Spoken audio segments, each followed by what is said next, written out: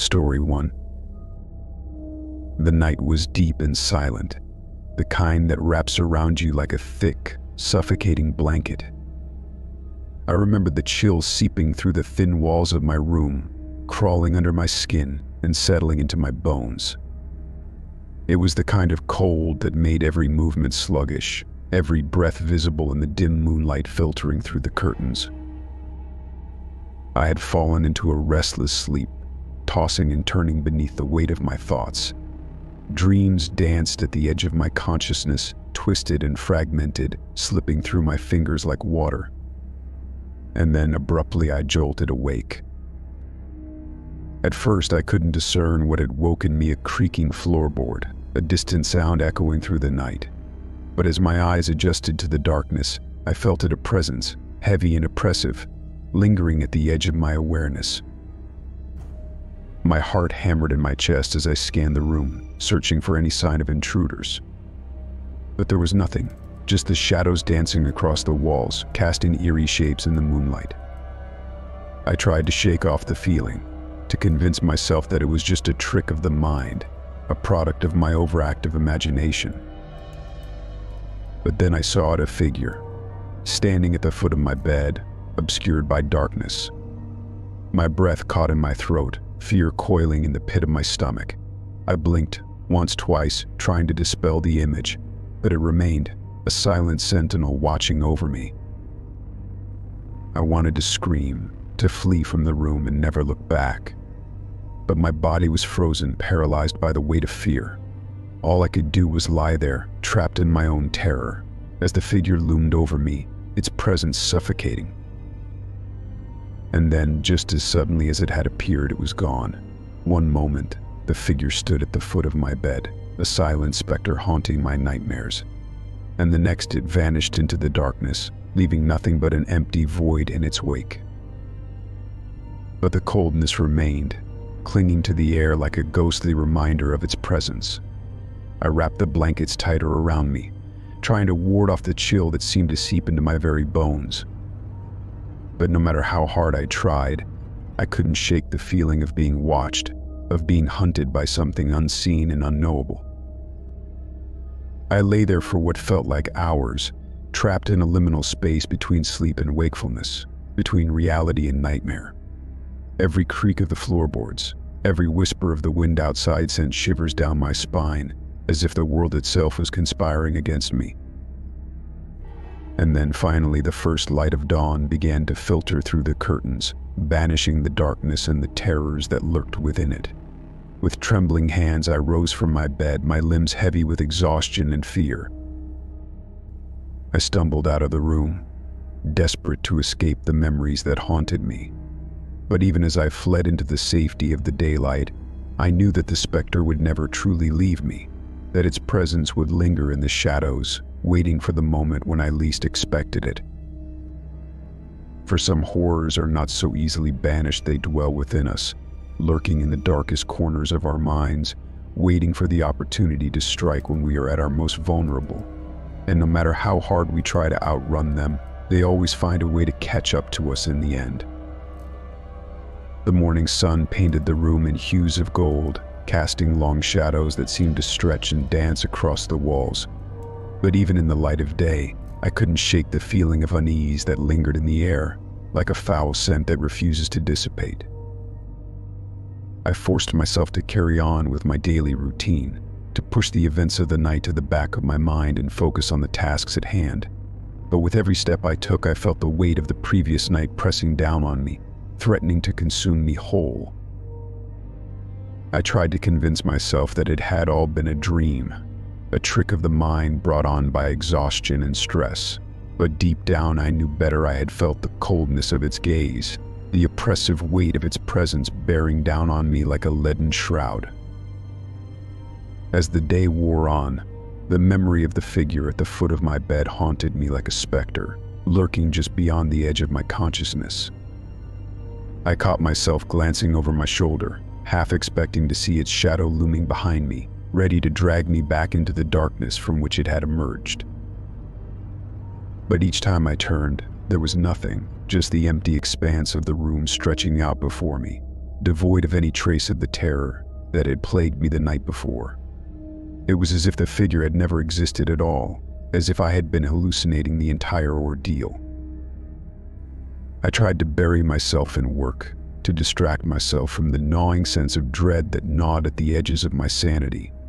But no matter how hard I tried, I couldn't shake the feeling that I was being watched, that the eyes of the unknown were still upon me, waiting and watching from the shadows. Night fell once again, casting the world into darkness and bringing with it a sense of foreboding that hung heavy in the air. I found myself dreading the moment when I would have to return to my bed, to face the possibility of encountering the figure once more. Story 2 The scratching noises began as a subtle disturbance, barely audible above the gentle hum of the night. At first, I brushed it off as nothing more than the scurrying of rodents, a common occurrence in old houses like mine. But as the night wore on, the sound grew louder, more insistent, until it seemed to fill the room with its ceaseless rhythm. I tried to ignore it, burying my head beneath the pillow in a futile attempt to drown out the noise. But no matter how hard I tried to block it out, the scratching persisted, like a persistent echo reverberating through the walls. As I lay there, tossing and turning in the darkness, I couldn't shake the feeling that there was something unnatural about the noise, something sinister lurking just beyond the edge of my perception. It was as if the very walls themselves were alive, whispering secrets that I was not meant to hear. And then, to my horror, the scratching began to echo my movements, as if something or someone was imitating me from within the darkness. With each shift of my body, the sound would respond in kind, a twisted parody of my own actions. Fear clawed at the edges of my mind as I lay there, paralyzed by the realization that I was not alone in my own home. I wanted to scream, to flee from the room and never look back, but my body refused to obey, rooted to the spot by a primal terror that gripped me with icy fingers. I strained to listen, to discern the source of the sound, but it seemed to come from everywhere, and nowhere all at once, filling the room with its malevolent presence. And then, just as suddenly as it had begun, the scratching ceased, leaving behind an oppressive silence that hung heavy in the air. I lay there for what felt like hours, my heart pounding in my chest, waiting for the inevitable return of the noise. But as the minutes ticked by, it became clear that whatever had been lurking in the darkness had retreated once more, leaving me alone with my racing thoughts. Eventually, exhaustion overtook me, dragging me down into the depths of sleep with a merciful embrace. But even as I drifted off into unconsciousness, I knew that the scratching would haunt my dreams, a relentless reminder of the darkness that lurked just beyond the edge of reality. The following day dawned bright and clear, the sunlight streaming through the windows and banishing the shadows that had haunted me throughout the night. I tried to push the events of the previous night to the back of my mind, to convince myself that it had all been nothing more than a bad dream brought on by stress and fatigue. But deep down, I knew better. I could still feel the weight of the darkness pressing down on me, still hear the echo of the scratching reverberating through the walls and try as I might to shake off the feeling of unease that clung to me like a second skin. I couldn't help but wonder what other horrors lay hidden within the depths of my own home, waiting to reveal themselves when I least expected it.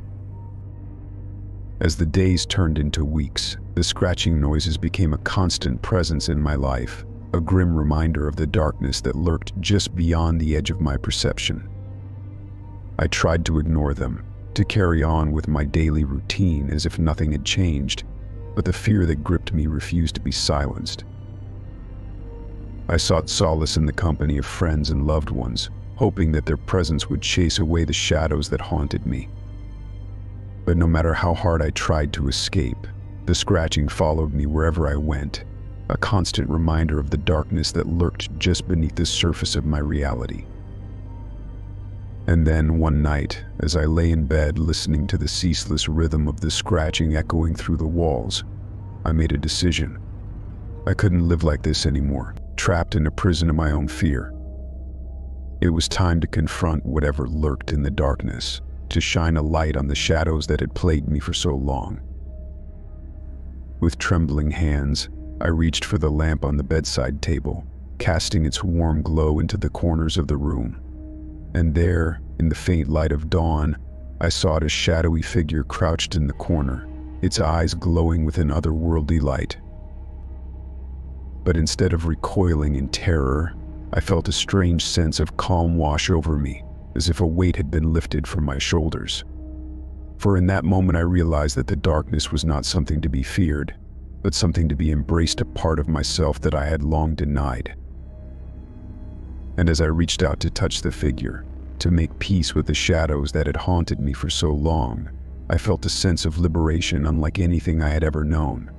For in that moment I had conquered my fear and emerged stronger on the other side. Story 3 The soft glow of the baby monitor cast a comforting light across the darkened room, its gentle hum a reassuring presence as I prepared to turn in for the night. I had checked it countless times before, a routine ritual born out of an abundance of caution and a desire to ensure my baby's safety. But as I glanced at the screen one last time before climbing into bed, my heart skipped a beat. There, in the crib, bathed in the soft light of the monitor, was a figure, a shadowy silhouette standing over my sleeping baby, its features obscured by darkness. For a moment I froze, my mind struggling to make sense of what I was seeing. Surely it was just a trick of the light, a figment of my overactive imagination. But as I watched, the figure seemed to move, its form shifting and swaying in the darkness. I rubbed my eyes, willing the image to disappear. But when I looked again, the figure was still there, looming over the crib like a specter from a nightmare. And then, to my horror, I heard it the faint sound of whispering, like the rustling of leaves on a windy night. I strained to make out the words, but they were lost in the static of the monitor, unintelligible whispers that seemed to hang in the air like a foul scent. Panic surged through me, threatening to overwhelm my senses as I struggled to comprehend what was happening. Without a second thought, I leaped out of bed, my heart pounding in my chest as I raced towards the nursery. Every step felt like an eternity, the darkness pressing in around me like a suffocating blanket but I pushed forward, driven by a primal instinct to protect my child at all costs. As I burst into the nursery, breathless and trembling, I was met with an eerie silence. The crib stood empty, the soft sounds of my baby's breathing the only sound in the room. I scanned the room frantically, searching for any sign of the figure that had haunted me on the monitor, but there was nothing just the empty expanse of the nursery bathed in the pale light of the moon. I stumbled forward, my legs threatening to give out beneath me as I collapsed to my knees beside the crib. Tears stung my eyes as I reached out to touch my baby, relieved to find him safe and sound, oblivious to the terror that had gripped me just moments before. But even as I held him close, a nagging sense of unease lingered in the back of my mind. What had I seen on the monitor? And more importantly, where had it gone? I spent the rest of the night huddled in the nursery, cradling my baby in my arms as if my mere presence could protect him from whatever unseen horrors lurked in the darkness. But try as I might to convince myself that it had all been a trick of the mind, I couldn't shake the feeling that something was terribly wrong. The following day dawned bright and clear, the events of the previous night already fading into the recesses of my memory like a half-remembered dream. I tried to carry on with my daily routine, to push aside the lingering sense of unease that gnawed at the edges of my sanity. But no matter how hard I tried to convince myself that it had all been nothing more than a hallucination brought on by exhaustion and stress, I couldn't shake the feeling that something was watching me, waiting for the opportune moment to strike. As the days turned into weeks, the memory of the figure on the monitor haunted me like a specter, lurking just beyond the edge of my consciousness. I found myself checking the baby monitor obsessively, searching for any sign of the darkness that had haunted me on that fateful night. But each time I looked, the screen remained stubbornly blank, the only sound the gentle hum of static. I tried to tell myself that it was over, that whatever had been lurking in the shadows had moved on to torment someone else. But deep down, I knew better. I could still hear the faint whispering echoing in the back of my mind, a constant reminder that the darkness was still out there, waiting for the moment when I least expected it. And so, I remained vigilant, keeping a watchful eye on the nursery long into the night, determined to protect my baby from whatever unseen horrors lurked in the darkness. For even though I couldn't see it, I knew that it was there, waiting, watching, biding its time until it could strike again.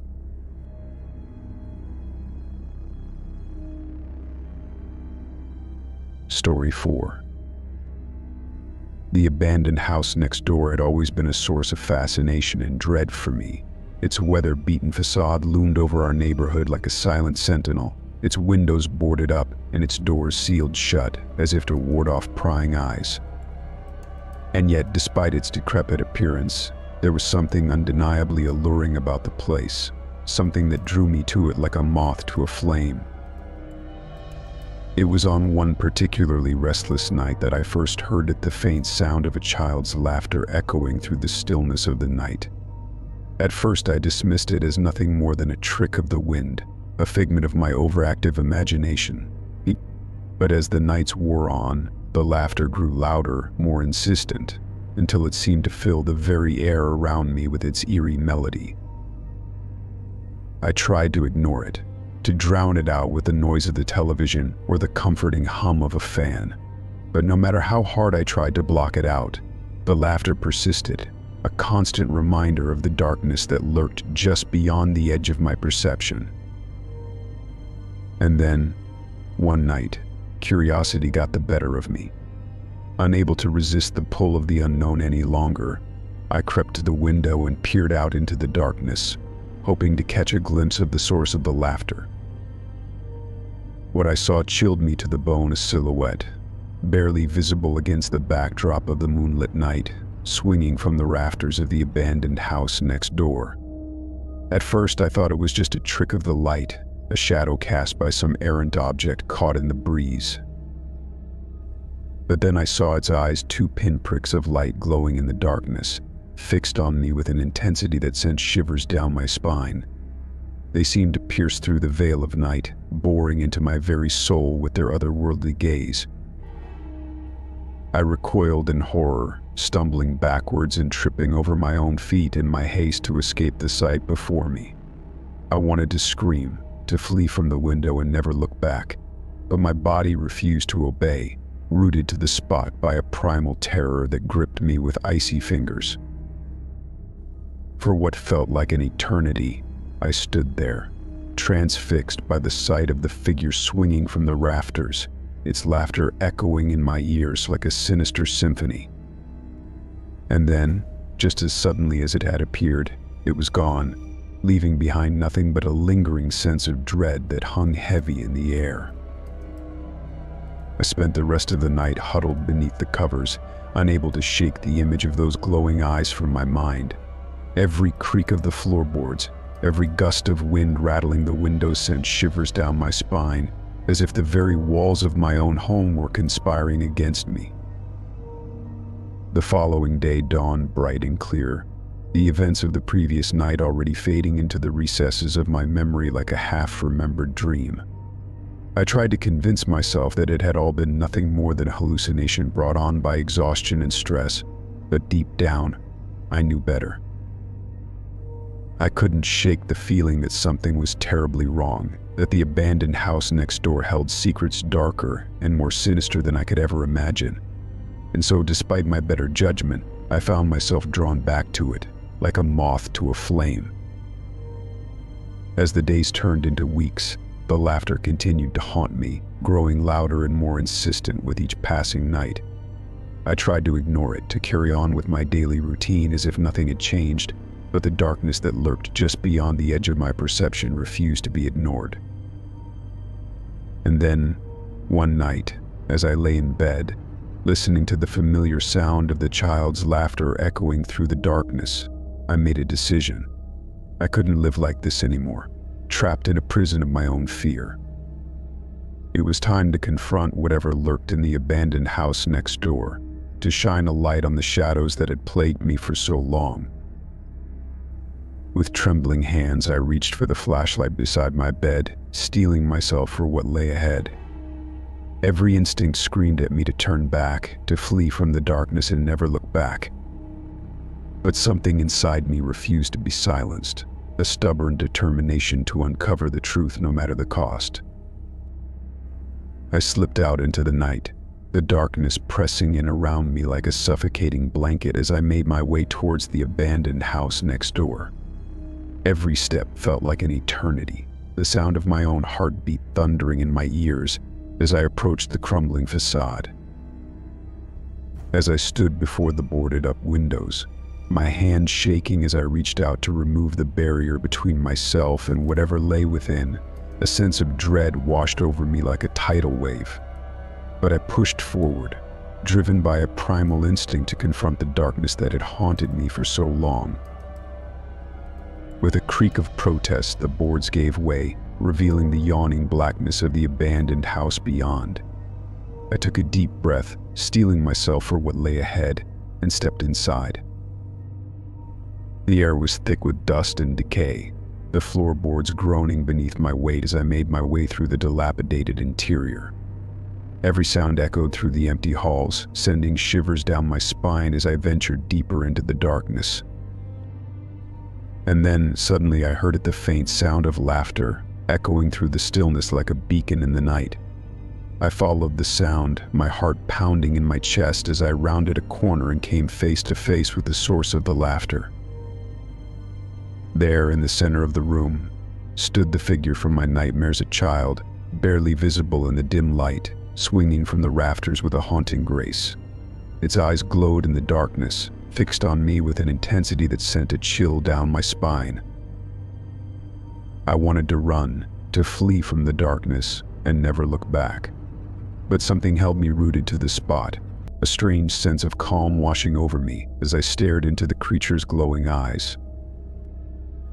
And then, to my surprise, it spoke a soft, melodic voice that seemed to echo from the depths of the void. Why have you come here? it asked, its words hanging in the air like a whispered secret. I hesitated, unsure of how to respond. I, I heard your laughter, I stammered, my voice barely more than a whisper. I wanted to know what was happening. The child cocked its head to the side, studying me with an intensity that sent shivers down my spine. We are bound to this place, it said, its voice soft and mournful, trapped between worlds, unable to move on. I felt a pang of sympathy for the creature before me, a sense of sorrow for its plight. Is there anything I can do to help? I asked, my voice barely more than a whisper. The child's eyes seemed to brighten at my words, a flicker of hope dancing in their depths. There is one thing it said, its voice barely more than a whisper. You must find the key that unlocks the door to our salvation. I nodded, my determination renewed. I will do whatever it takes, I vowed, my voice steady despite the fear that still lingered in the depths of my soul. With a solemn nod, the child vanished into the darkness, leaving me alone with my thoughts and the weight of my newfound purpose. And as I made my way back into the night, the laughter echoing in my ears like a solemn promise, I knew that my journey was only just beginning. Story 5 The darkness enveloped me like a suffocating blanket, pressing in from all sides as I struggled to make sense of my surroundings. My limbs felt heavy, as if weighed down by some unseen force, and the air was thick with the smell of earth and decay. Panic surged through me as I realized where I was buried alive in a coffin, six feet beneath the ground. My heart pounded in my chest like a drumbeat, each thud echoing in the darkness as I fought to control the rising tide of fear that threatened to consume me whole. I tried to move, to push against the confines of the coffin and break free from my earthen prison. But no matter how hard I struggled, I couldn't escape the suffocating embrace of the darkness that surrounded me, trapping me in its cold, clammy grasp.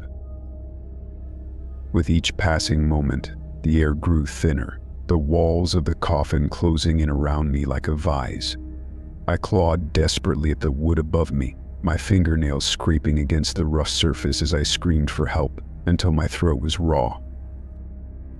But no one heard me, no one came to my rescue. The silence of the grave stretched on for an eternity, broken only by the sound of my own frantic breathing as I struggled to hold on to the last vestiges of consciousness. Time lost all meaning as I lay there in the darkness, trapped in a nightmare from which there seemed to be no escape. The minutes stretched into hours, the hours into days, until I could no longer distinguish between reality and hallucination, between life and death.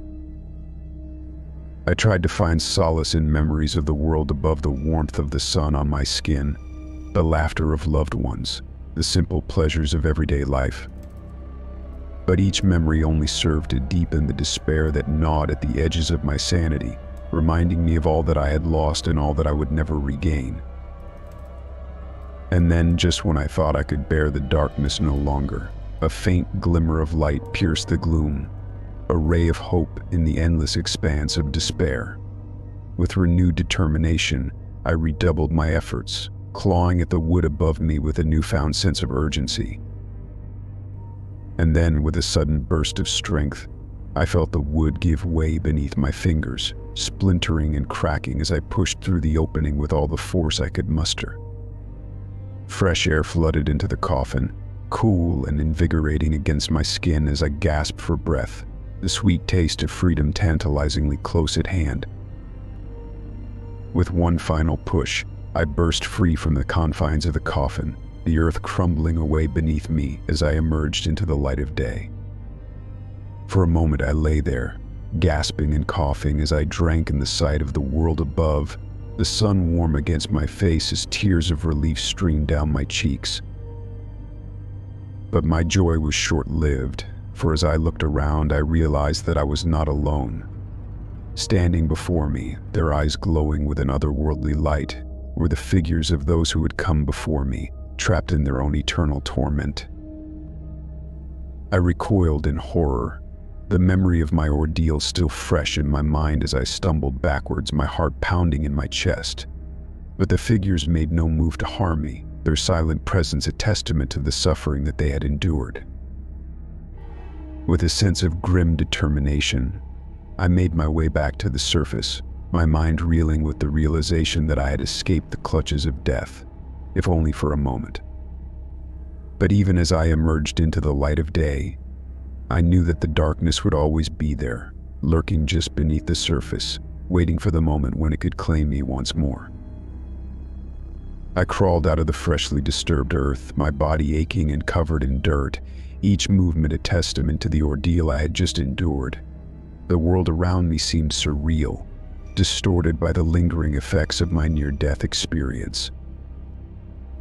As I stumbled through the cemetery, my mind raced with a thousand questions, each more terrifying than the last. How had I ended up buried alive? Who had put me there, and why? But try as I might to find answers, the truth remained elusive, shrouded in the darkness that lurked just beyond the edges of my consciousness.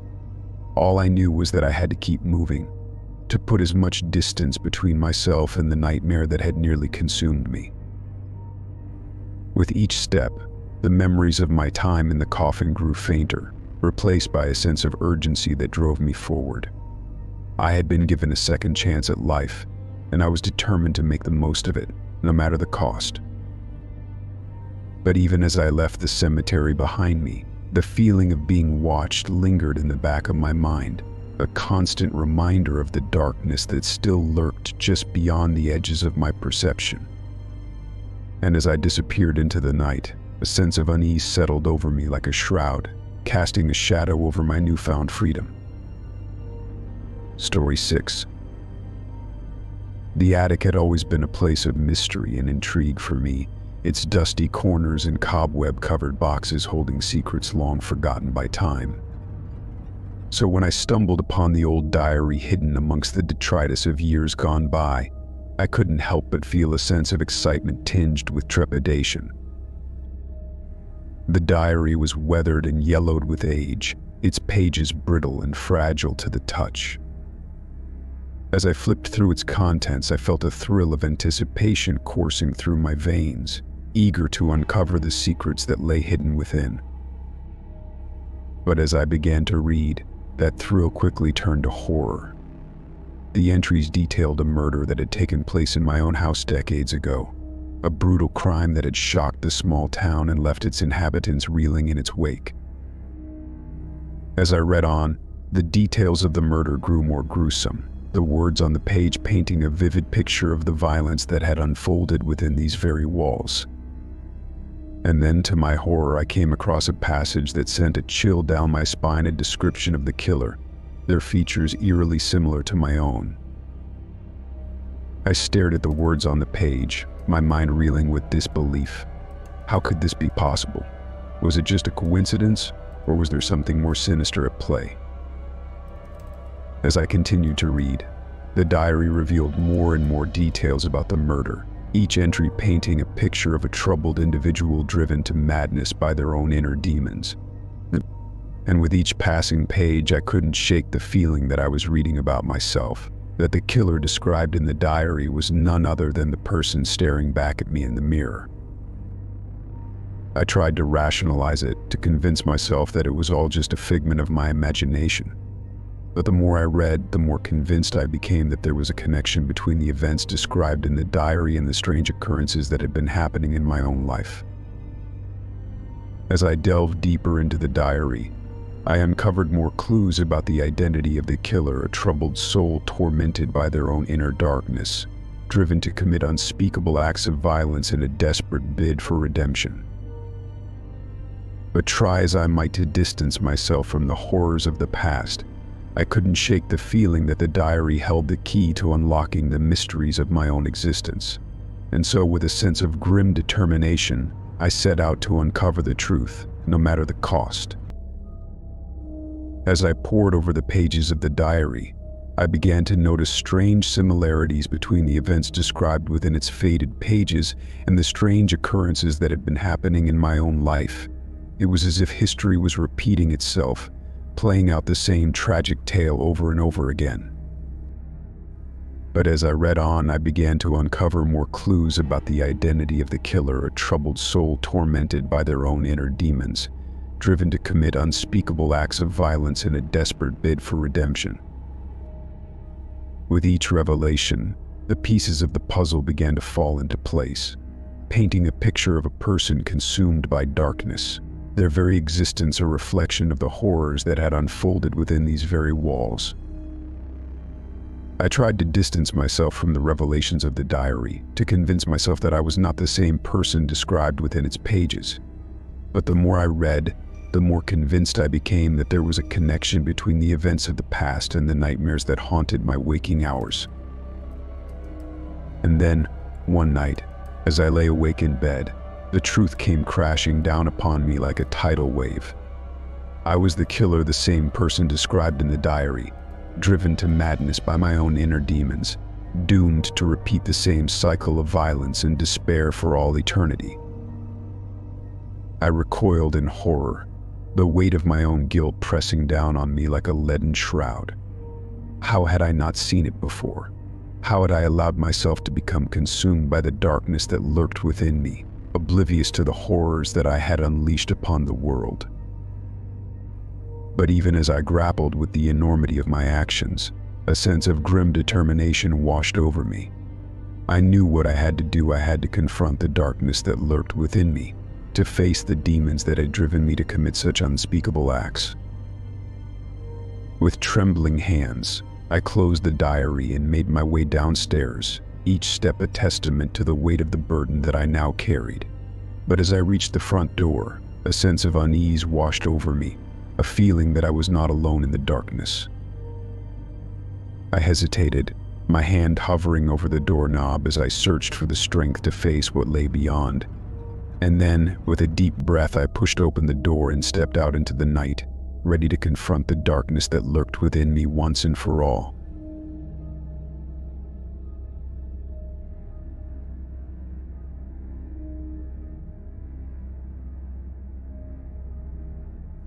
Story 7. The night began like any other, the sky painted in shades of indigo as the sun dipped below the horizon, casting long shadows that stretched across the sleepy town. But as the hours passed and darkness settled over the land, a strange fog began to roll in from the surrounding hills, creeping through the streets like a silent predator. At first, I paid it little mind, dismissing it as nothing more than a trick of the weather. But as the fog thickened and enveloped everything in its chilling embrace, a sense of unease settled over me like a heavy cloak. I stood on the porch of my house, peering out into the swirling mist with a growing sense of trepidation. There was something unnatural about it, something otherworldly that sent shivers down my spine. And then, in the midst of the fog, I saw them, the faces twisted in agony, their features contorted in pain as they reached out to me with spectral hands, as if pleading for release from their eternal torment. I stumbled backwards in horror, my heart pounding in my chest as I tried to make sense of what I was seeing. Were these apparitions real, or merely figments of my overactive imagination? But even as I tried to rationalize what I was seeing, the faces drew closer, their eyes boring into mine with an intensity that sent a chill down my spine. I could hear their whispers echoing in the darkness, a cacophony of voices pleading for mercy, for salvation from whatever horrors lay beyond. Without thinking, I stepped forward, drawn inexorably towards the spectral figures that beckoned to me from the depths of the fog. Every fiber of my being screamed at me to turn back, to flee from the darkness and never look back. But something inside me refused to be silenced, a stubborn determination to uncover the truth, no matter the cost. As I moved deeper into the fog, the faces seemed to multiply, appearing and disappearing in the swirling mist like phantoms in the night. I could feel their presence pressing in around me, suffocating me with their silent screams and desperate pleas. And then, just as suddenly as it had begun, the fog began to dissipate, melting away into the darkness as if it had never been. I stood there, panting and trembling, my mind reeling with the magnitude of what I had just witnessed. Had it all been a hallucination, brought on by the strange atmosphere of the fog? Or had I truly glimpsed into the realm of the supernatural, witnessing the souls of the departed trapped in their eternal torment. I may never know the answer, but one thing was certain the experience had changed me in ways I could never have imagined. From that night on, I would always be haunted by the faces in the fog, a constant reminder of the thin veil that separates the world of the living from the realm of the dead. As I made my way back to my house, the events of the night weighing heavily on my mind, I couldn't shake the feeling that I had glimpsed into something far greater and more mysterious than I could ever comprehend.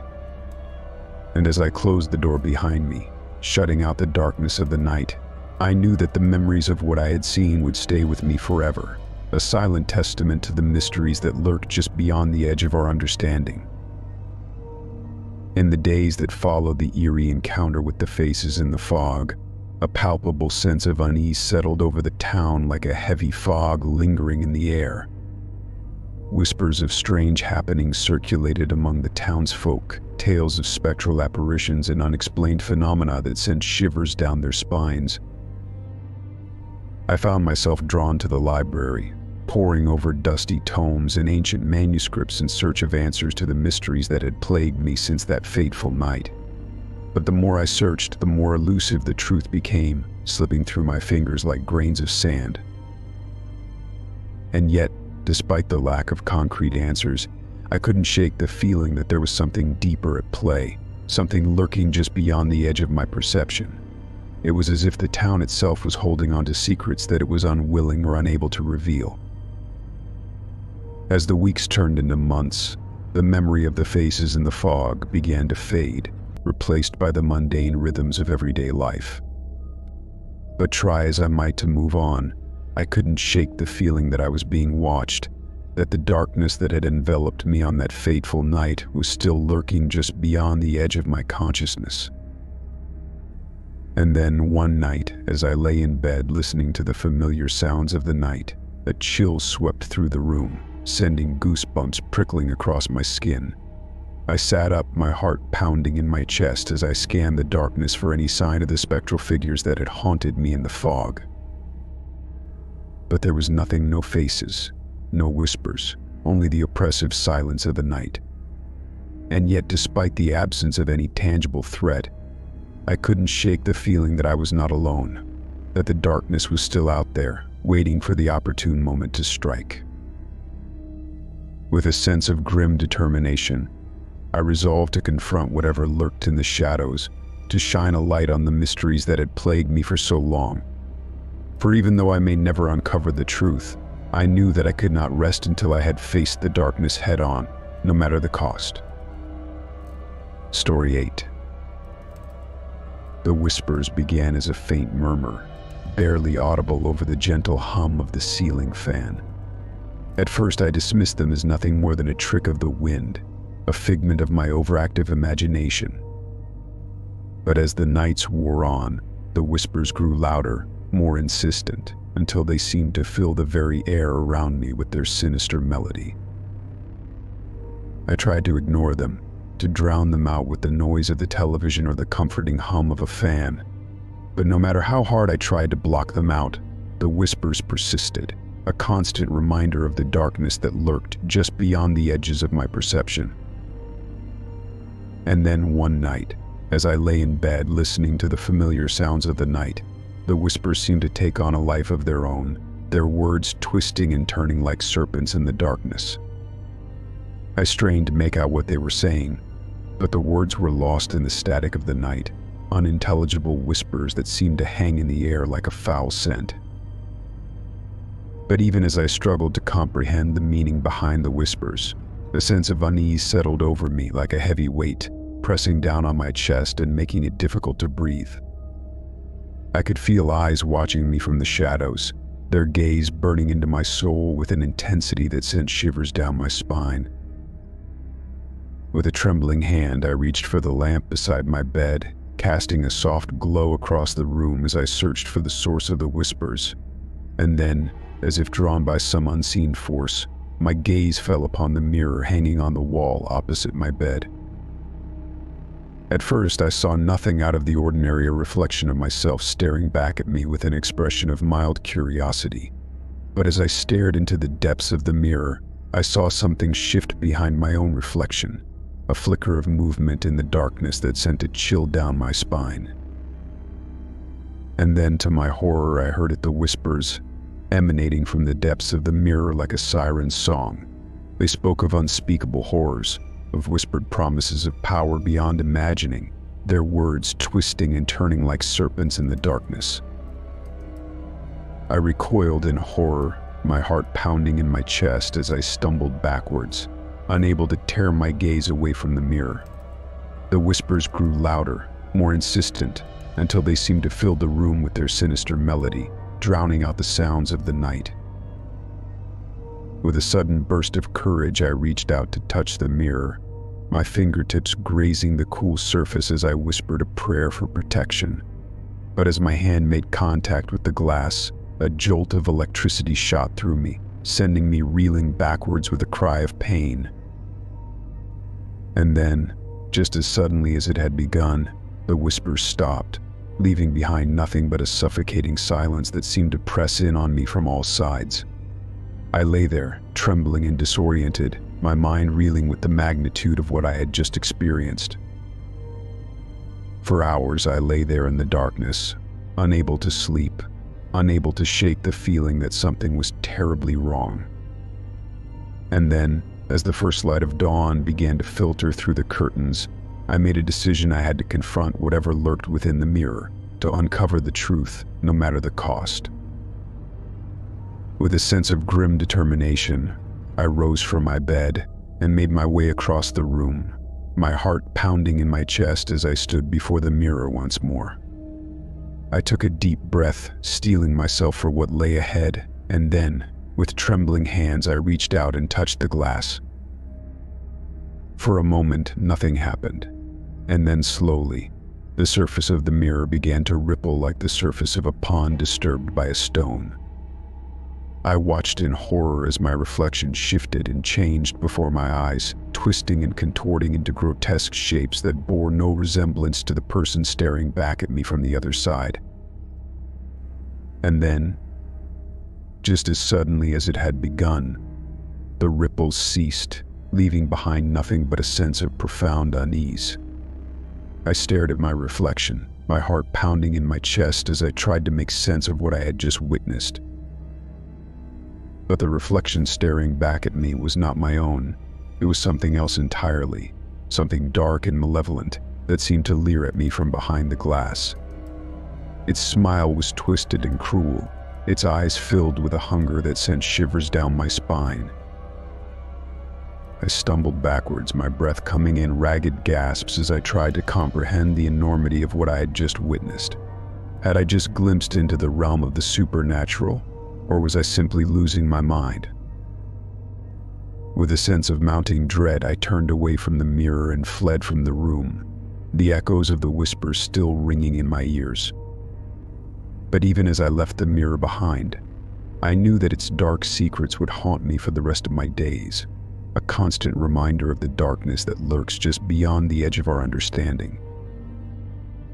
Story 9 The night was still, the air heavy with the weight of impending darkness as I stood before the mirror in my bedroom. At first, everything seemed normal, the reflection staring back at me was my own, its features familiar and unremarkable. But then, as I moved to adjust my tie, something strange happened. My reflection moved too, mirroring my actions with a sinister twist. Its movements were exaggerated, almost mocking in their perfection, as if it were taunting me from the other side of the glass. I froze, my heart pounding in my chest as I stared at the reflection before me. This couldn't be happening, I told myself. It was impossible. And yet there was the image of myself, moving of its own accord, its movements eerily synchronized with my own. With a growing sense of unease, I reached out to touch the glass, expecting to feel the cold, smooth surface beneath my fingertips. But instead, my hand passed through the mirror as if it were nothing more than a thin veil separating me from the other side. I stumbled backwards, my mind reeling with shock and confusion. What was happening to me? Was I losing my mind, or was there something more sinister at play? as if in answer to my unspoken question. The reflection began to move again, its movements growing more erratic with each passing moment. It twisted and contorted, its features morphing into grotesque caricatures of my own, until I could no longer bear to look at it. But try as I might to tear my gaze away, I found myself unable to move, rooted to the spot by some unseen force. And then, to my horror, I realized that the reflection was growing closer, inching its way towards me with each passing second. I tried to scream, to call out for help, but no sound escaped my lips. I was trapped, helpless to do anything but watch as the reflection drew nearer, its eyes burning with a malevolent light that sent shivers down my spine. And then, just as suddenly as it had begun, the reflection stopped, freezing in place just inches from my own face. I could feel its breath on my skin, cold and clammy, sending a chill down my spine as I stared into its soulless eyes. For a moment, everything was still, the air thick with tension as I waited for something anything to happen. But then, with a sudden burst of movement, the reflection lunged forward, its hands reaching out to grab me with a strength that belied its ethereal form. I stumbled backwards, my heart pounding in my chest as I tried to flee from the nightmare that had taken hold of me. But no matter how fast I ran, the reflection was always there, its presence looming over me like a shadow in the night. I knew that I had to find a way to escape, to break free from the clutches of the reflection before it was too late. But try as I might to find a solution, my mind came up blank, my thoughts clouded by fear and confusion. And then, just when it seemed like all hope was lost, a voice whispered in the darkness, a voice that seemed to come from within the depths of the mirror itself. Embrace me, it hissed, its words dripping with malice. Embrace the darkness that lurks within you, and together we shall rule over this world as kings. I recoiled in horror, my mind reeling with the enormity of what I had just heard. Was this the voice of the reflection, or was it something else entirely?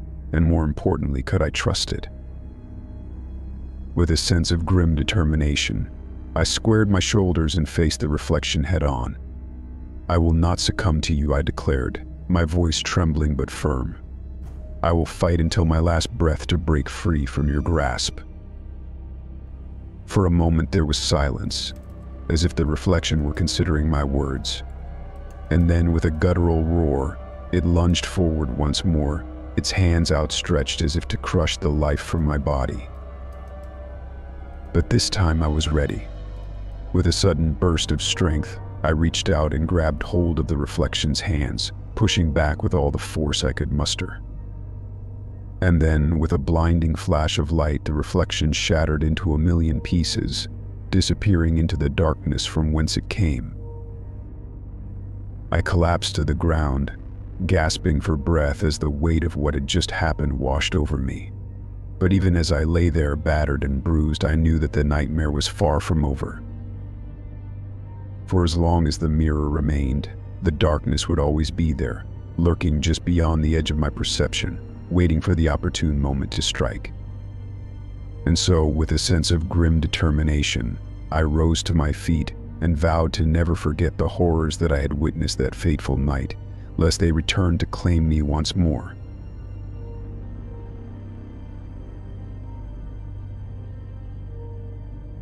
Story 10 As I slowly regained consciousness, the sterile scent of the hospital room assaulted my senses, mingling with the soft hum of medical equipment and the low murmur of voices.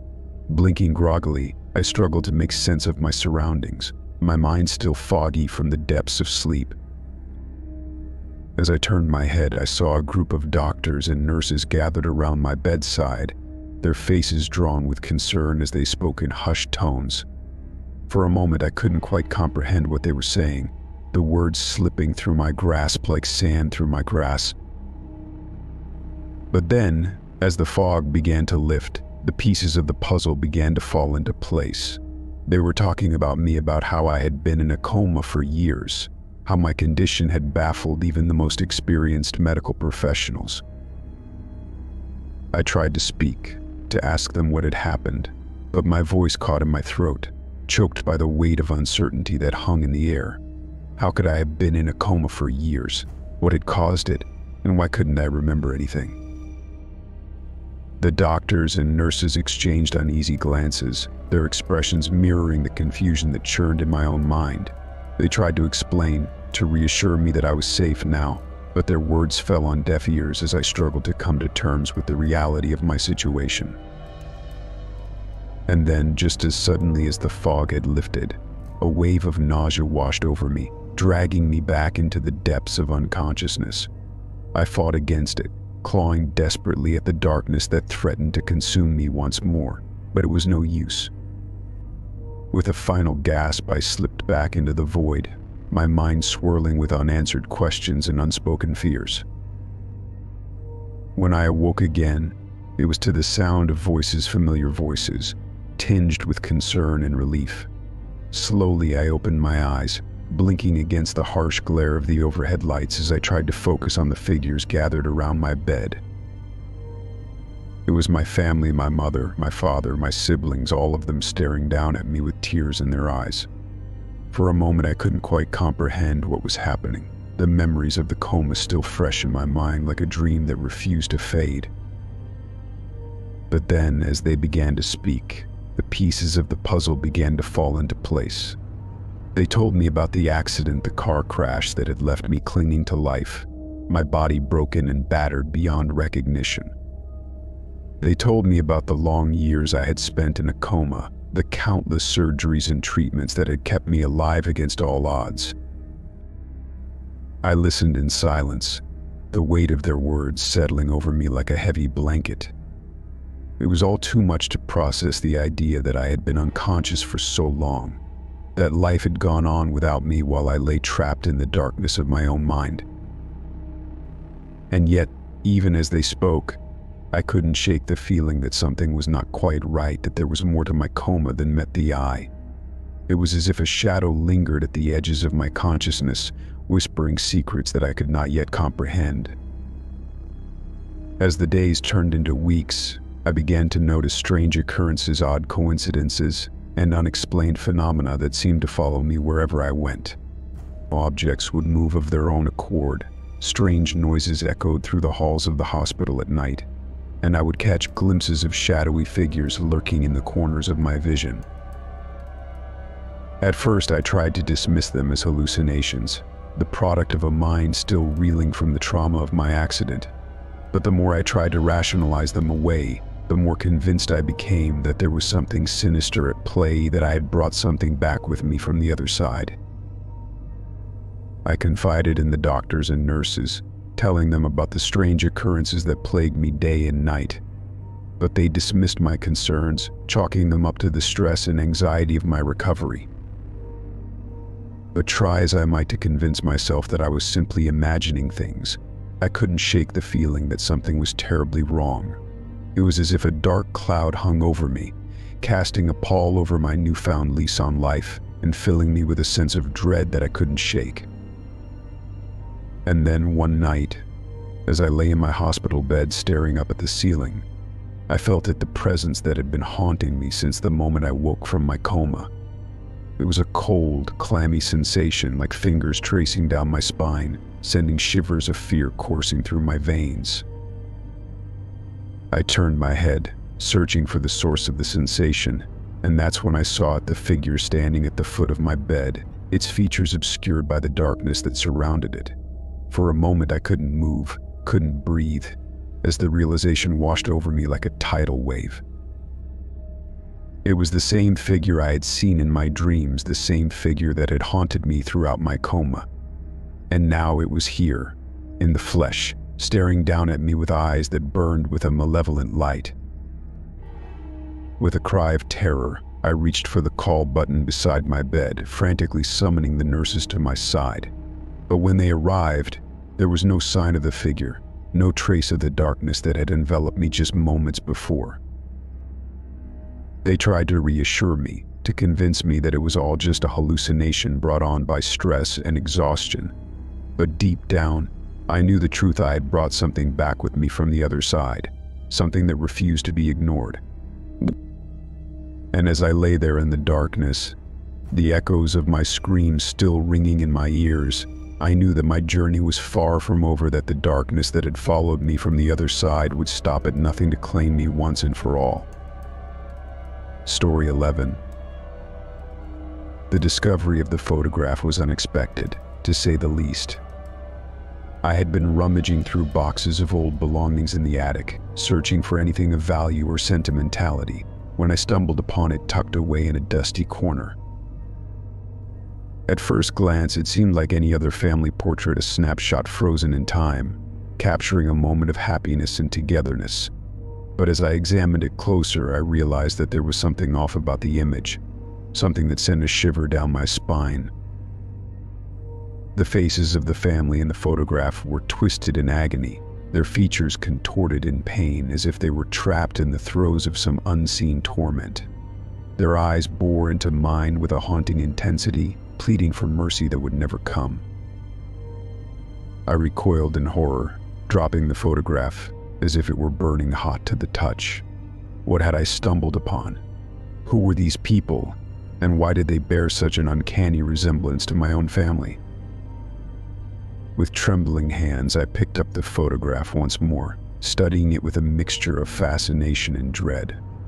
There was something about it that seemed familiar, as if I had seen these faces somewhere before, but try as I might, I couldn't place where or when.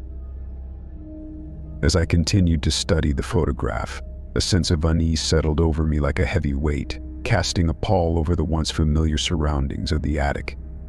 It was as if the air itself had grown thick with the weight of the secrets that lay hidden within the image. I tried to shake off the feeling of dread that had taken hold of me, to convince myself that it was all just a trick of the light or a figment of my overactive imagination. But deep down, I knew that there was something more to the photograph than met the eye that it held secrets that I was not yet meant to uncover. Determined to unravel the mystery of the photograph, I set out to learn everything I could about its origins. I scoured old family albums and sifted through boxes of documents, searching for any clue that might shed light on the identity of the people in the image. But no matter how hard I searched, I came up empty-handed. There was no mention of the family in any of the documents or records that I could find, no indication of who they were or how they were connected to me. Frustrated and perplexed, I turned to the only other person who might be able to shed some light on the mystery my grandmother. She had always been the keeper of family lore, the one who knew all the secrets and hidden truths that had been passed down through generations. When I showed her the photograph, her face grew pale, her eyes widening with recognition. Where did you find this, she asked, her voice barely above a whisper.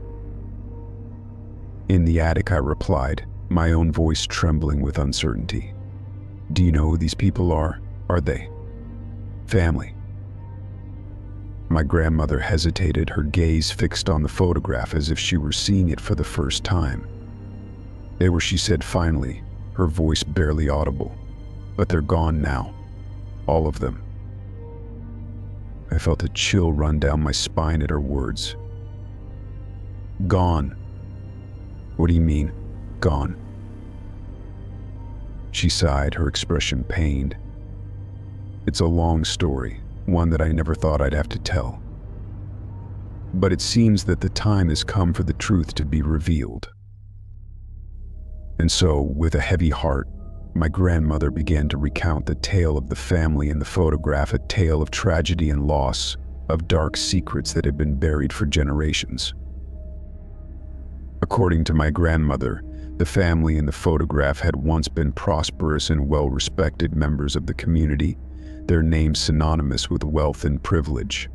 But behind closed doors, they harbored a dark secret, a secret that would ultimately lead to their downfall. As the story unfolded, I listened in rapt attention, hanging on my grandmother's every word.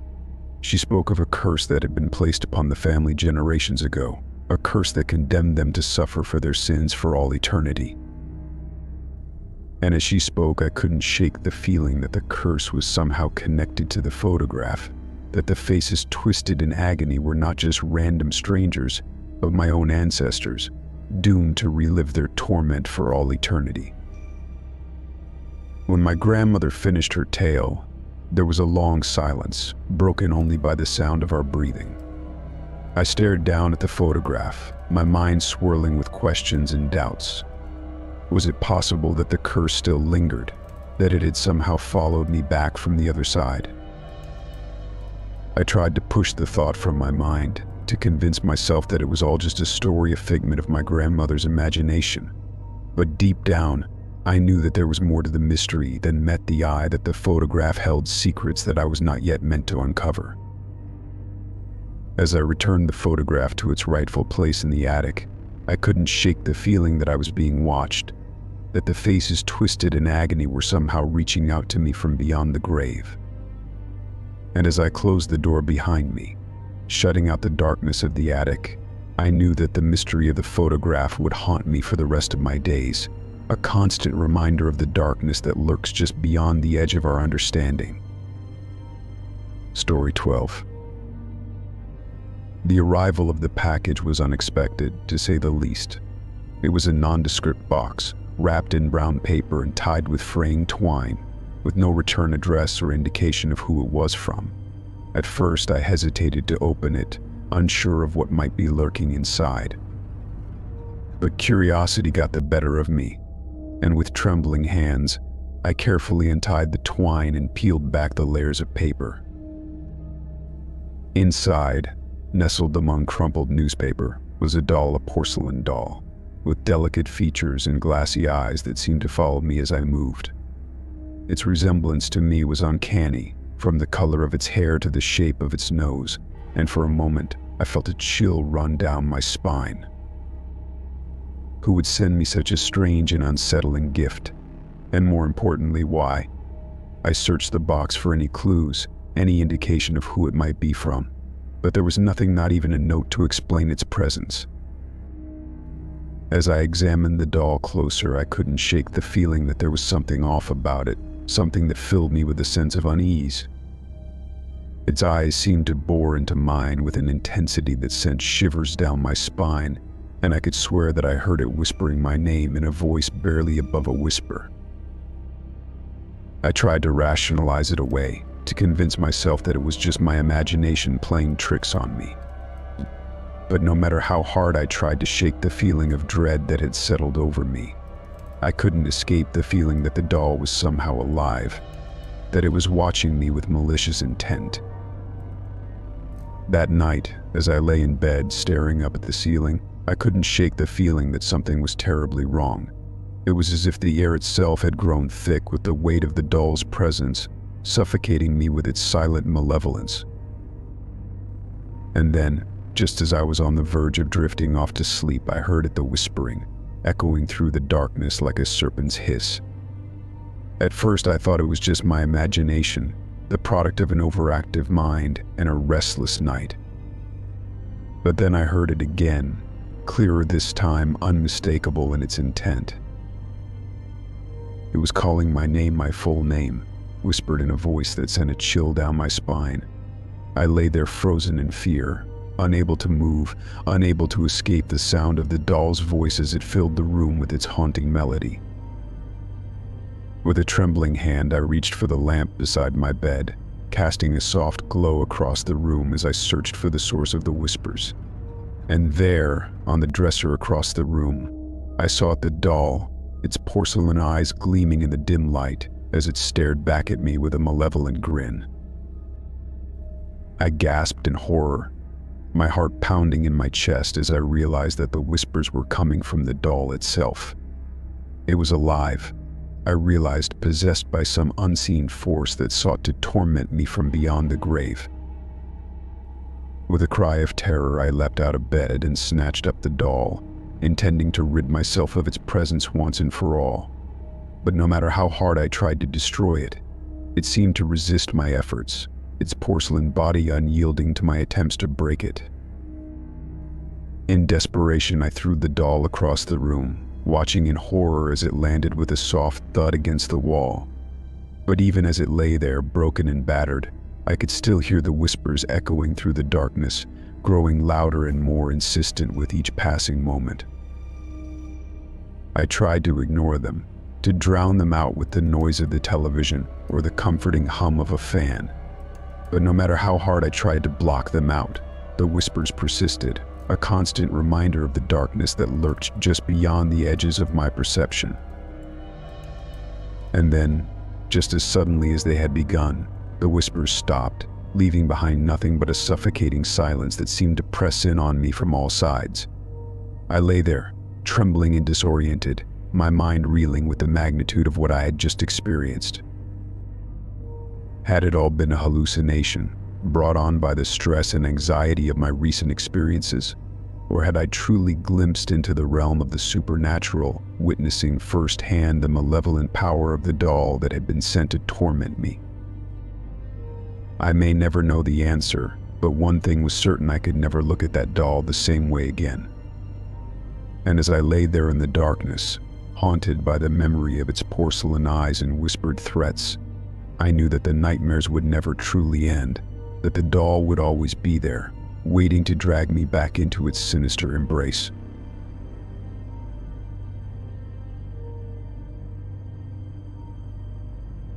Story 13 As I slowly opened my eyes, the soft morning light filtering through the curtains gently kissed my face. The room was bathed in a tranquil glow, and for a moment I relished in the blissful ignorance of the day ahead. But as consciousness fully embraced me, a creeping unease settled in the pit of my stomach. I blinked a few times, trying to shake off the remnants of sleep, only to find myself staring at a scene straight out of a nightmare. Handprints adorned every inch of my bedroom walls, overlapping in a chaotic display, as if someone had been desperately clawing their way out. My heart thundered in my chest as I sat up, trying to make sense of the surreal sight before me. But then a shiver ran down my spine as realization dawned upon me those handprints, they were mine. Every single one of them bore the unique pattern of my fingers, as if I had frantically pressed against the walls in a desperate bid for escape. Panic gripped me like icy tendrils, threatening to suffocate me in its relentless embrace. I stumbled out of bed, my feet landing on the cold hardwood floor with a hollow thud. As I moved closer to the walls, the handprints seemed to mock me, their ghostly imprints haunting every corner of the room. How could this be possible? What could have driven me to leave such eerie marks in my own sanctuary? With trembling hands, I reached out to touch one of the handprints, half expecting it to vanish like a mirage. But the surface beneath my fingertips was solid and real, sending a jolt of fear coursing through my veins. My mind raced, desperately trying to piece together fragments of memory that seemed to elude me like elusive shadows in the night.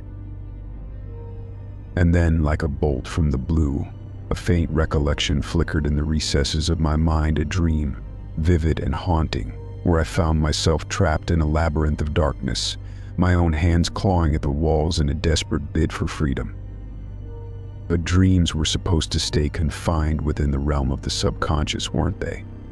They weren't supposed to spill over into reality with such terrifying clarity. I stumbled backwards, my breaths coming in ragged gasps as I struggled to make sense of the inexplicable. Every fiber of my being screamed for me to flee, to escape the suffocating confines of my own bedroom, but a morbid curiosity held me in its grip. What if there was more to this than met the eye? What if there was a rational explanation lurking just beyond my reach? With trembling legs, I made my way to the window, the cool glass offering a sliver of solace amidst the chaos that engulfed me.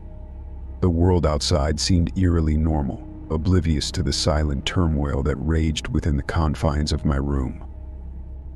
But as I gazed out at the familiar sights, a sense of dread settled over me like a heavy cloak. What if this wasn't an isolated incident? What if there were other signs, other clues lurking in the shadows, waiting to be unearthed? With a newfound determination, I set out to scour every inch of my apartment, searching for any semblance of an explanation, no matter how improbable it seemed. But as the hours stretched into eternity, my efforts proved futile, yielding nothing but frustration and despair. There were no hidden passages, no secret messages concealed within the walls, just the suffocating silence of unanswered questions. Exhausted and defeated, I returned to my bedroom the handprints still mocking me with their silent accusation. And as I sank to the floor, my back against the wall, I couldn't help but wonder was this just the beginning? Or was it the end of something far more sinister, lurking just beyond the edges of my consciousness, waiting to consume me whole?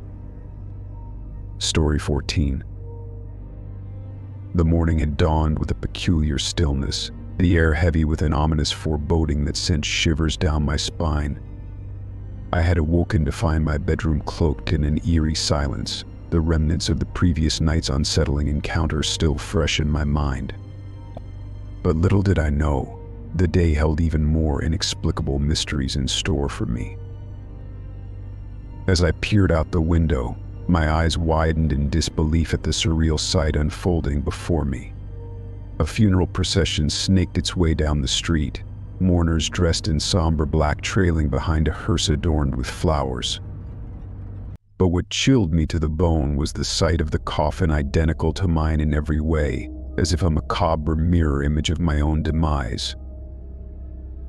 A knot formed in the pit of my stomach as I watched in stunned silence, my mind struggling to comprehend the bizarre spectacle unfolding before me. How could this be happening? Was I witnessing some twisted prank, a cruel joke orchestrated by unseen hands? Or was there something far more sinister at play, lurking just beyond the veil of reality? Driven by a mix of curiosity and dread, I hastily threw on some clothes and rushed outside, my heart hammering in my chest like a drumbeat of impending doom. But as I stepped onto the pavement, a wave of confusion washed over me. There was no sign of the funeral procession, no trace of the mourners or the hearse that had seemed so real just moments ago. I stood there, rooted to the spot, my mind reeling with disbelief. Had I imagined the whole thing? Was my sanity slipping through my fingers like grains of sand? But deep down, a nagging voice whispered that there was more to this than met the eye, that I had stumbled upon a mystery far beyond my comprehension. With trembling hands, I reached for my phone, desperate for some semblance of rationality in the midst of the chaos that threatened to consume me. But as I scrolled through the messages and missed calls, I found no answers, only a growing sense of unease gnawing at the edges of my consciousness. As the day wore on, I found myself consumed by a relentless sense of paranoia, my every move shadowed by the specter of impending doom. Everywhere I turned, I felt as though unseen eyes were watching me, their gaze piercing through the veil of reality with unnerving clarity. Nightfall brought little solace, the darkness serving only to heighten my sense of isolation and fear. I tossed and turned in bed, haunted by visions of my own funeral, the coffin a stark reminder of the fragile line between life and death. But just as I felt myself slipping into the abyss of despair, a faint glimmer of hope pierced the darkness of memory, buried deep within the recesses of my mind, resurfacing like a beacon of light in the gloom. I remembered a time, long ago, when I had stumbled upon an old book in my grandmother's attic, its pages yellowed with age and wisdom. Within its weathered covers lay the secrets of ancient rites and rituals, whispers of a world beyond the realm of mortal understanding. With a newfound resolve, I set out to uncover the truth, delving into the depths of forgotten lore in search of answers that had eluded me thus far. The journey was fraught with peril, each page a labyrinth of cryptic symbols and arcane incantations. But amidst the chaos, I found clarity a revelation that shook me to my core, unraveling the fabric of reality itself. For buried within the ancient texts lay the key to my salvation, a ritual that promised to banish the specter of death and restore balance to the universe. With trembling hands, I gathered the necessary ingredients, each one a testament to the power of ancient magic. And as I stood before the flickering flame of a candle, reciting the incantation with a voice that trembled with determination, I felt a surge of energy coursing through my veins, a force beyond comprehension guiding my hand. And then, in a blinding flash of light, it was over the darkness that had gripped my soul, lifting like a veil, replaced by a sense of peace and clarity that I had thought lost forever. I had cheated death itself, defying the laws of nature with a single act of defiance. As I stepped outside into the cool night air, a sense of euphoria washed over me, the weight of the world lifting from my shoulders like a burden lifted. And as I gazed up at the stars, their light shining down upon me like a benediction, I knew that I had emerged from the darkness stronger than ever before, a beacon of hope in a world plagued by uncertainty and fear. Story 15 The discovery of the hidden room in my house was a revelation that sent shock waves through the very foundation of my reality. It was a cold winter's evening when I stumbled upon it, my curiosity piqued by a loose floorboard in the corner of the living room. With a sense of trepidation mingled with excitement, I pried the board loose, revealing a dark void beneath. Heart pounding in my chest, I reached into the darkness, fingers brushing against cool metal handle. With a deep breath, I pulled, and the floorboard creaked open, revealing a narrow staircase descending into the depths below. The air was thick with dust, and the musty scent of ages past sending a shiver down my spine as I descended into the unknown. As I reached the bottom of the staircase, my eyes widened in disbelief at the sight that greeted me. The hidden room stretched out before me, illuminated by the soft glow of moonlight filtering in through a small, dusty window. But it was not the room itself that filled me with dread, it was what lay within. Toys old and forgotten lay scattered across the floor, their once bright colors faded with time. Dolls with missing limbs stared back at me with vacant eyes, their silent screams echoing in the stillness of the room. But it was the photographs that lined the walls that truly sent a chill down my spine.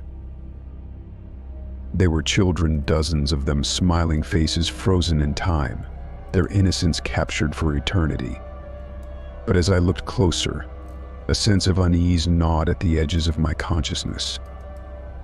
These were not just any children, they were the faces of those who had gone missing, their disappearances shrouded in mystery and sorrow. My mind reeled with the implications of what I had stumbled upon had this hidden room been the lair of a kidnapper, a predator preying on the innocent. Or was there something far more sinister at play, something beyond the realm of human understanding? As I stood there, paralyzed by fear and uncertainty, the sound pierced the silence a faint echo of laughter, distant yet unmistakable. My blood ran cold as I realized it was the laughter of children, echoing from the very walls of the room itself. With a sense of dread coursing through my veins, I moved closer to the source of the sound, my heart pounding in my chest like a drumbeat of impending doom. But as I reached out to touch the wall, the laughter ceased, replaced by an eerie silence that seemed to suffocate me in its embrace. I recoiled in horror, the hairs on the back of my neck standing on end as a chill ran down my spine. What dark secrets lay hidden within these walls? What unseen force lurked in the shadows, waiting to ensnare me in its grasp? With trembling hands, I reached for my phone, desperate for some semblance of connection to the outside world. But as I dialed the emergency number, a voice echoed in the darkness a whisper, barely audible yet filled with a malevolent intent. Leave this place, it hissed, the words sending a shiver down my spine. Leave before it's too late. I stumbled backwards, my heart racing as I struggled to make sense of the voice that seemed to emanate from the very depths of the room itself. Was I losing my mind? Or was there truly something sinister lurking in the shadows? Driven by a primal instinct to flee, I turned and ran, the sound of my footsteps echoing through the narrow confines of the hidden room. But as I reached the staircase and scrambled up the steps, a sense of dread washed over me like a tidal wave, threatening to drag me down into the abyss below. With a final burst of adrenaline-fueled determination, I burst through the trapdoor and into the safety of the living room above. Gasping for breath, I collapsed onto the floor, the weight of what I had witnessed bearing down on me like a crushing weight. But even as I lay there, trembling and exhausted, I knew that the nightmare was far from over. The hidden room, a dark and malevolent presence lurking within its depths, would haunt me for eternity, a reminder of the thin veil that separates the world of the living from the realm of the dead. Story 16 As consciousness slowly seeped into my groggy mind, I found myself enveloped in an eerie darkness, the cold touch of metal restraints digging into my wrists and ankles.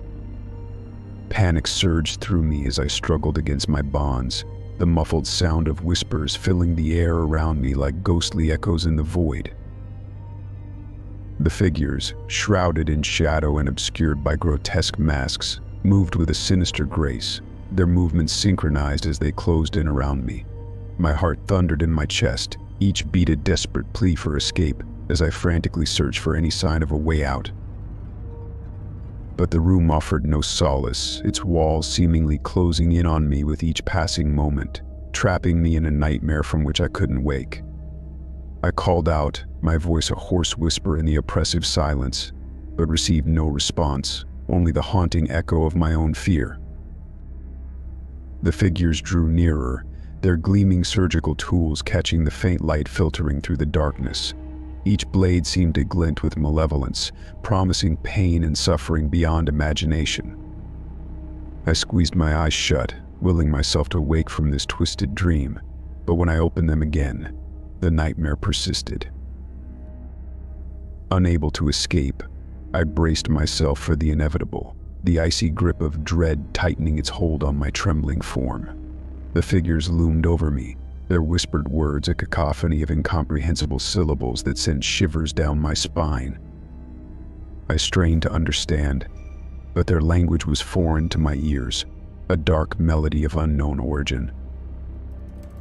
With trembling hands, they began their grisly work, their movements precise and calculated as they dissected the very fabric of my being. Pain lanced through me like white-hot fire, each incision tearing away a piece of my sanity until all that remained was raw, unadulterated terror. Time lost all meaning as the ordeal dragged on, each agonizing moment stretching into eternity. I begged for mercy, pleaded for release from this waking nightmare, but my words fell on deaf ears, swallowed by the oppressive silence of the void. And then, just as suddenly as it had begun, it was over. The figures retreated into the darkness, leaving me battered and broken, my mind reeling from the horrors I had endured. I lay there, gasping for breath, my body racked with pain as I struggled to make sense of what had just transpired. But there was no sense to be found, no rational explanation for the nightmare that had befallen me. All that remained was the chilling certainty that I had glimpsed into the abyss, stared into the heart of darkness, and found only madness staring back at me. In the days that followed, I became a prisoner of my own mind, haunted by visions of masked figures and whispered incantations that seemed to echo in the recesses of my soul. I sought solace in the light of day, but even then, the shadows clung to me like a shroud, a constant reminder of the horrors that lurked just beyond the edge of perception. But despite the nightmares that plagued my every waking moment, I refused to surrender to despair. With each passing day, I fought to reclaim my sanity, to banish the darkness that threatened to consume me whole. And though the scars of that fateful night may never fully heal, I carry with me a newfound resilience, a strength forged in the crucible of adversity. For even in the darkest of times, there is light to be found a glimmer of hope that burns eternal in the heart of every soul brave enough to face the unknown. So I press onward, guided by the flickering beacon of hope that shines within me, knowing that no matter what horrors may lie ahead, I will face them head on, armed with the knowledge that I am stronger than the darkness that seeks to devour me. As the days stretched into weeks, I found myself consumed by an insatiable thirst for answers. What had happened to me on that fateful night? Who were those masked figures, and what dark purpose drove them to torment me so? Driven by a desperate need for closure, I embarked on a journey into the unknown, scouring ancient tomes and forbidden texts in search of the truth. Each page turned revealed new horrors, each cryptic symbol a tantalizing clue in the puzzle of my own existence. But with each step closer to the truth, the shadows seemed to grow deeper, the whispers more insistent. I could feel their presence lurking just beyond the edge of perception, watching, waiting, as if daring me to delve deeper into the darkness. Yet I refused to be deterred, fueled by a determination born of desperation. For I knew that only by confronting the darkness head-on could I ever hope to find the answers I sought. And so I pressed onward, guided by a flickering beacon of hope that burned bright within me.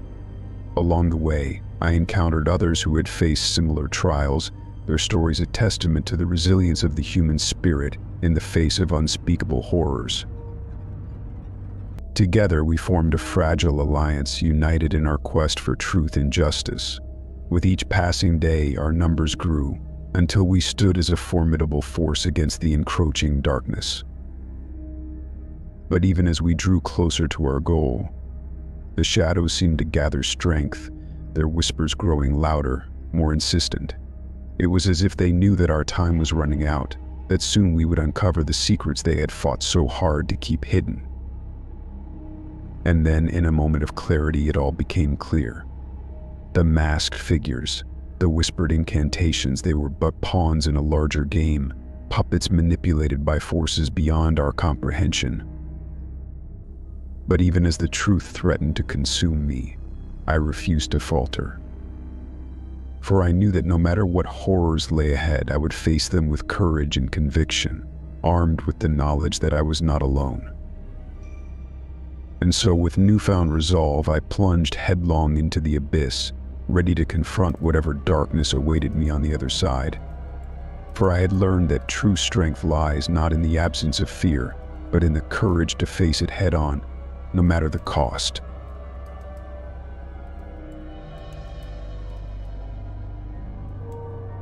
Story 17 The revelation struck me like a bolt of lightning on a clear summer's day, a stark and unsettling realization that shattered the fragile illusion of reality that I had always taken for granted.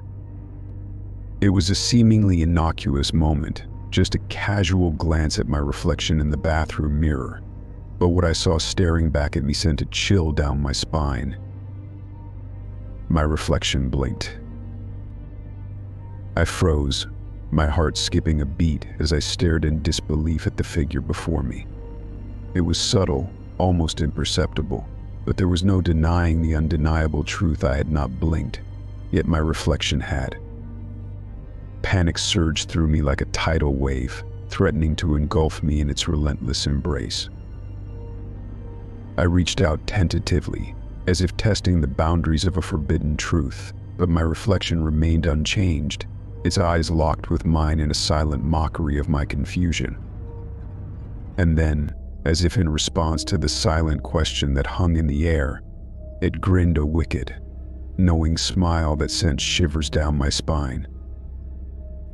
For a moment I stood there paralyzed by fear and uncertainty, my mind racing with a million unanswered questions. How was this possible? What unseen force was at play, distorting the very fabric of reality itself? And most importantly, what did it want from me?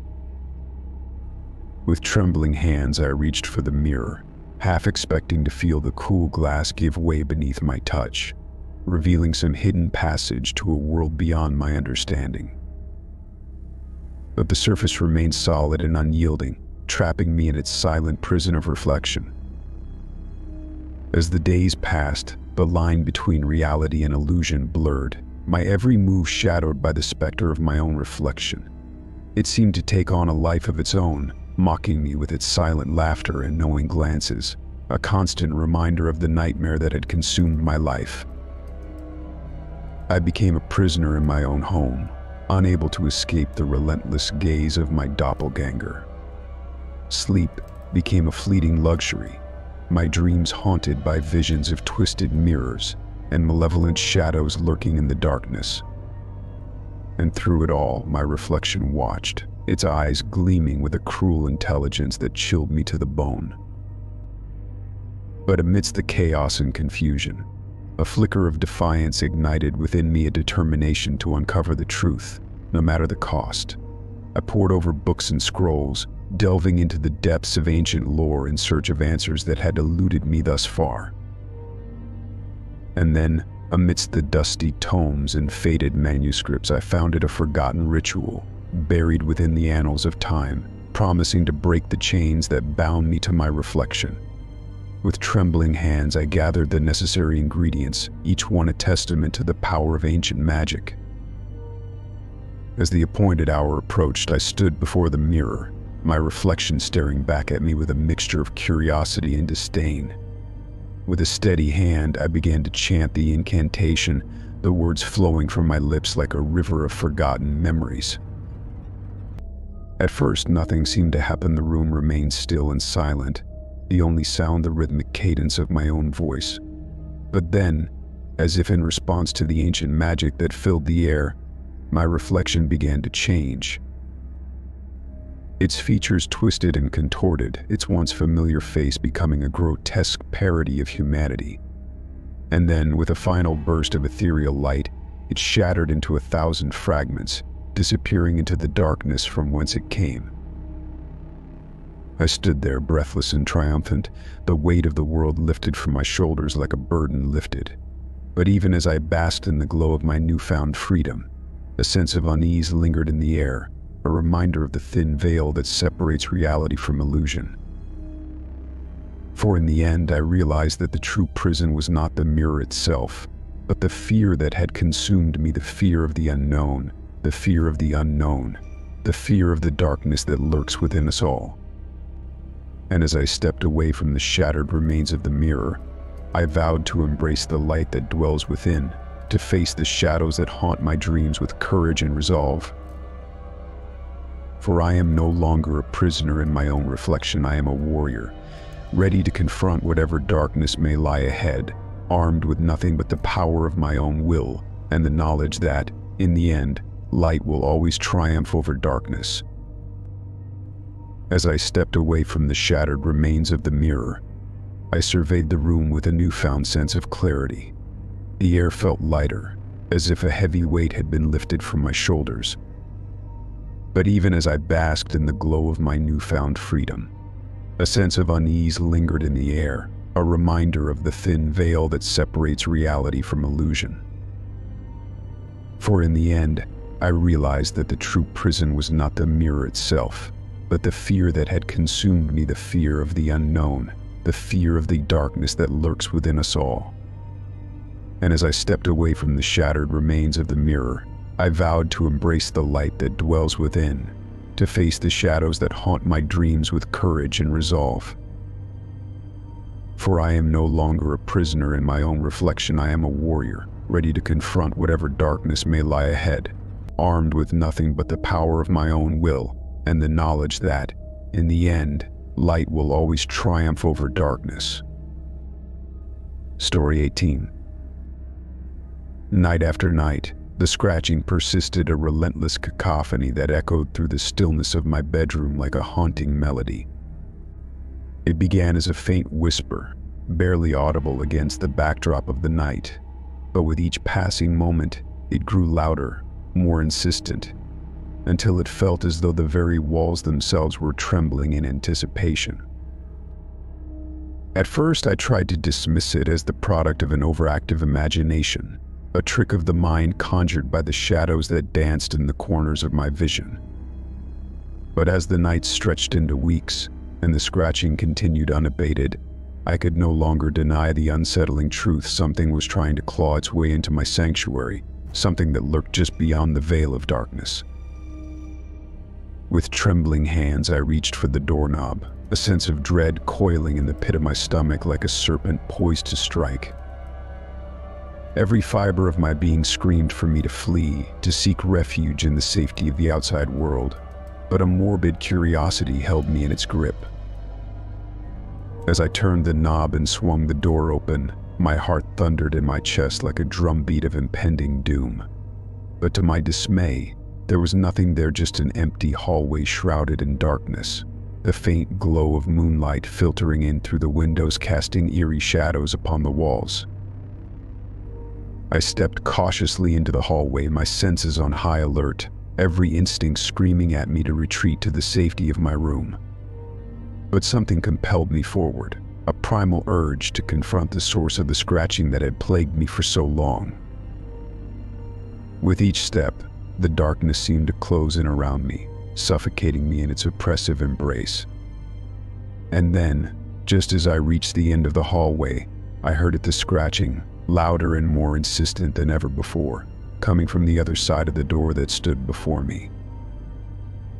With trembling hands, I reached out and grasped the doorknob, my pulse racing with a mixture of fear and anticipation. For a moment I hesitated, the weight of the unknown pressing down upon me like a suffocating blanket. But then, with a deep breath, I pushed the door open, ready to confront whatever lay beyond. But to my horror, there was nothing there, just an empty room, bathed in the pale glow of the moonlight streaming in through the window. The scratching had ceased, replaced by an eerie silence that seemed to reverberate through the very fabric of reality itself. I stood there rooted to the spot, my mind reeling with confusion and disbelief.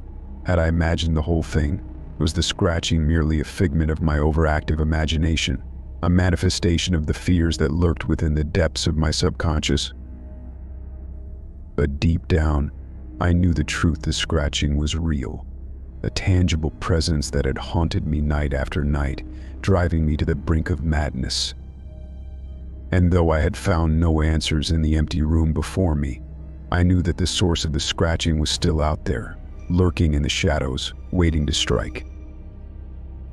With a heavy heart, I retreated to the safety of my bedroom, the weight of the night pressing down upon me like a heavy shroud.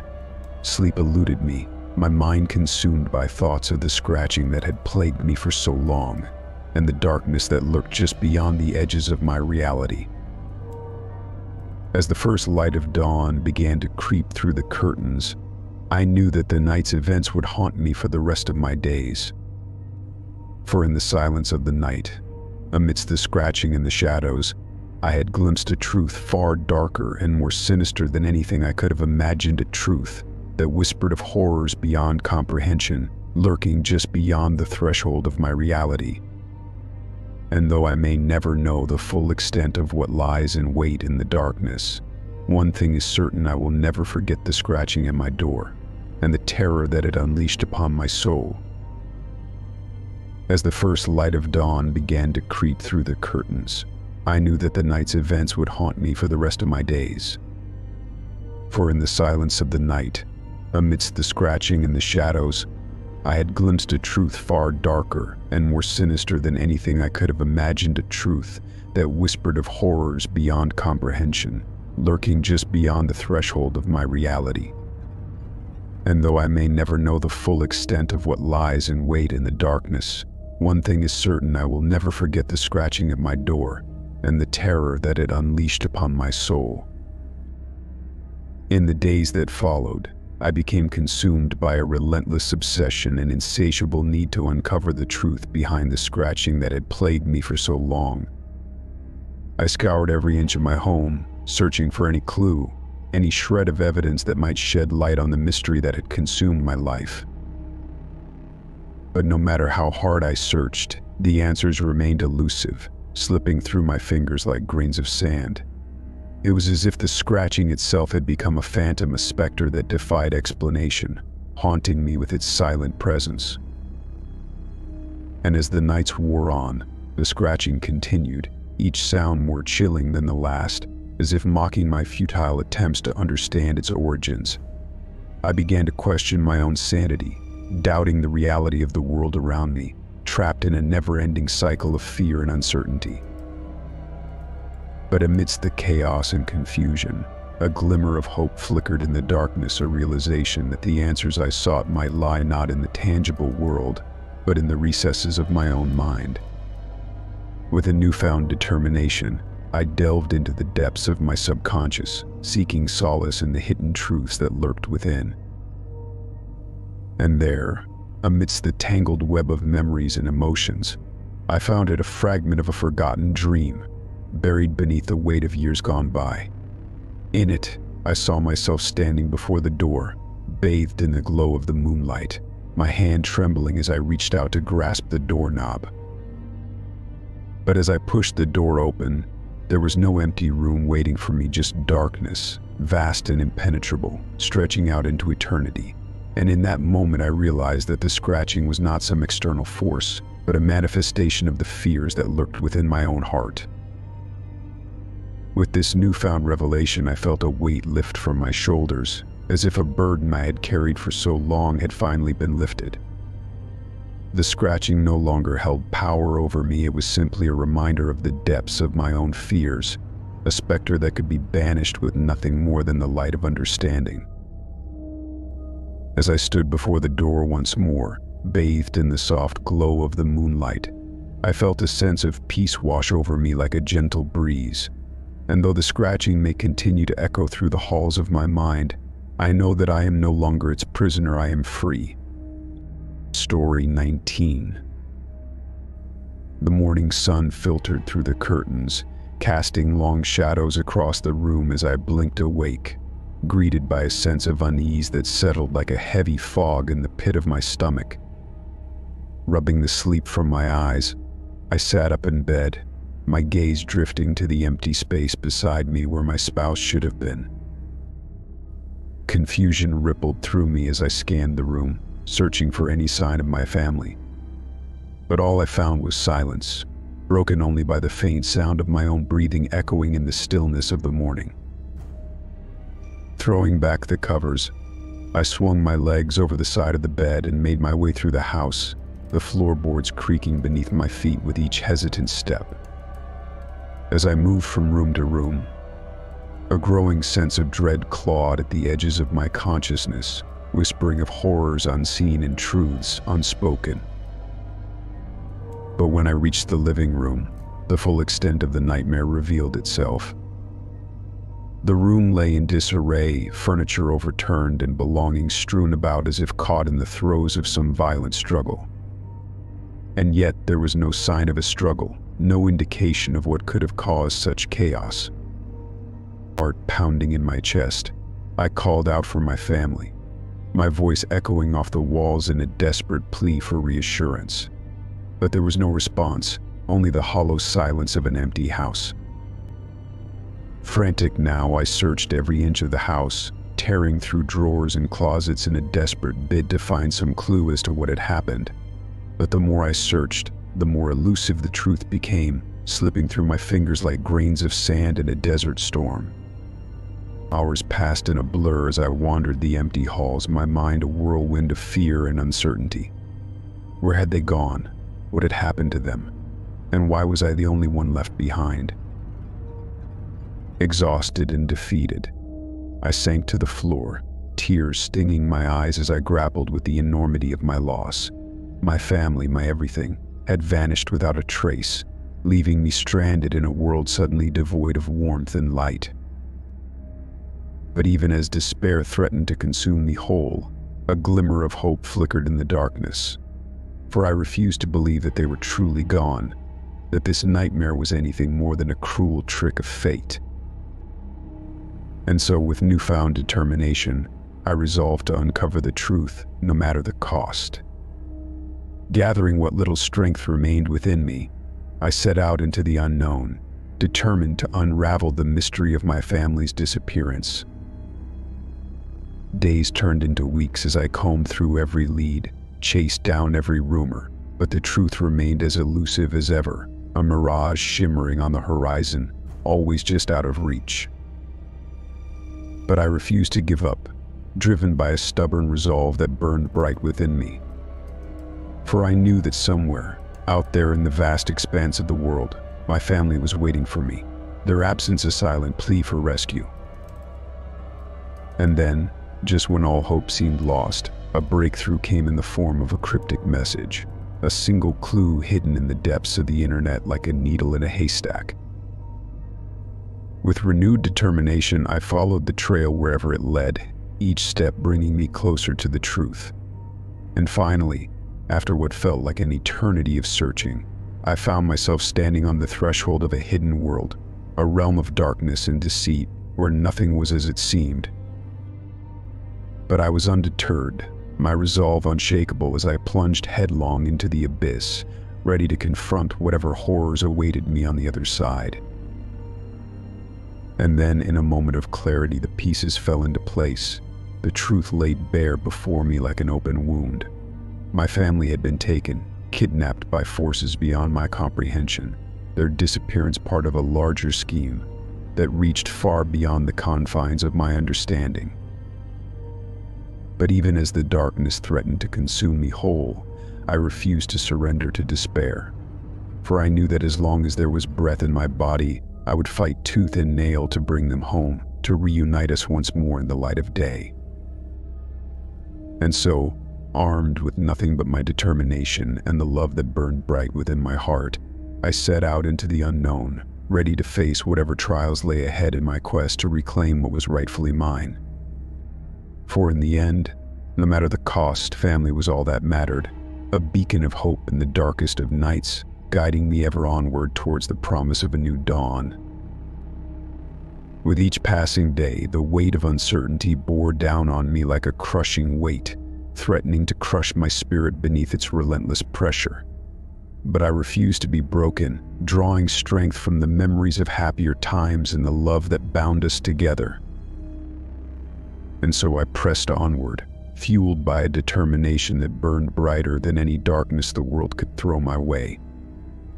for I knew that no matter how long the journey, no matter how daunting the obstacles, I would not rest until my family was safe in my arms once more, reunited at last in the warm embrace of home.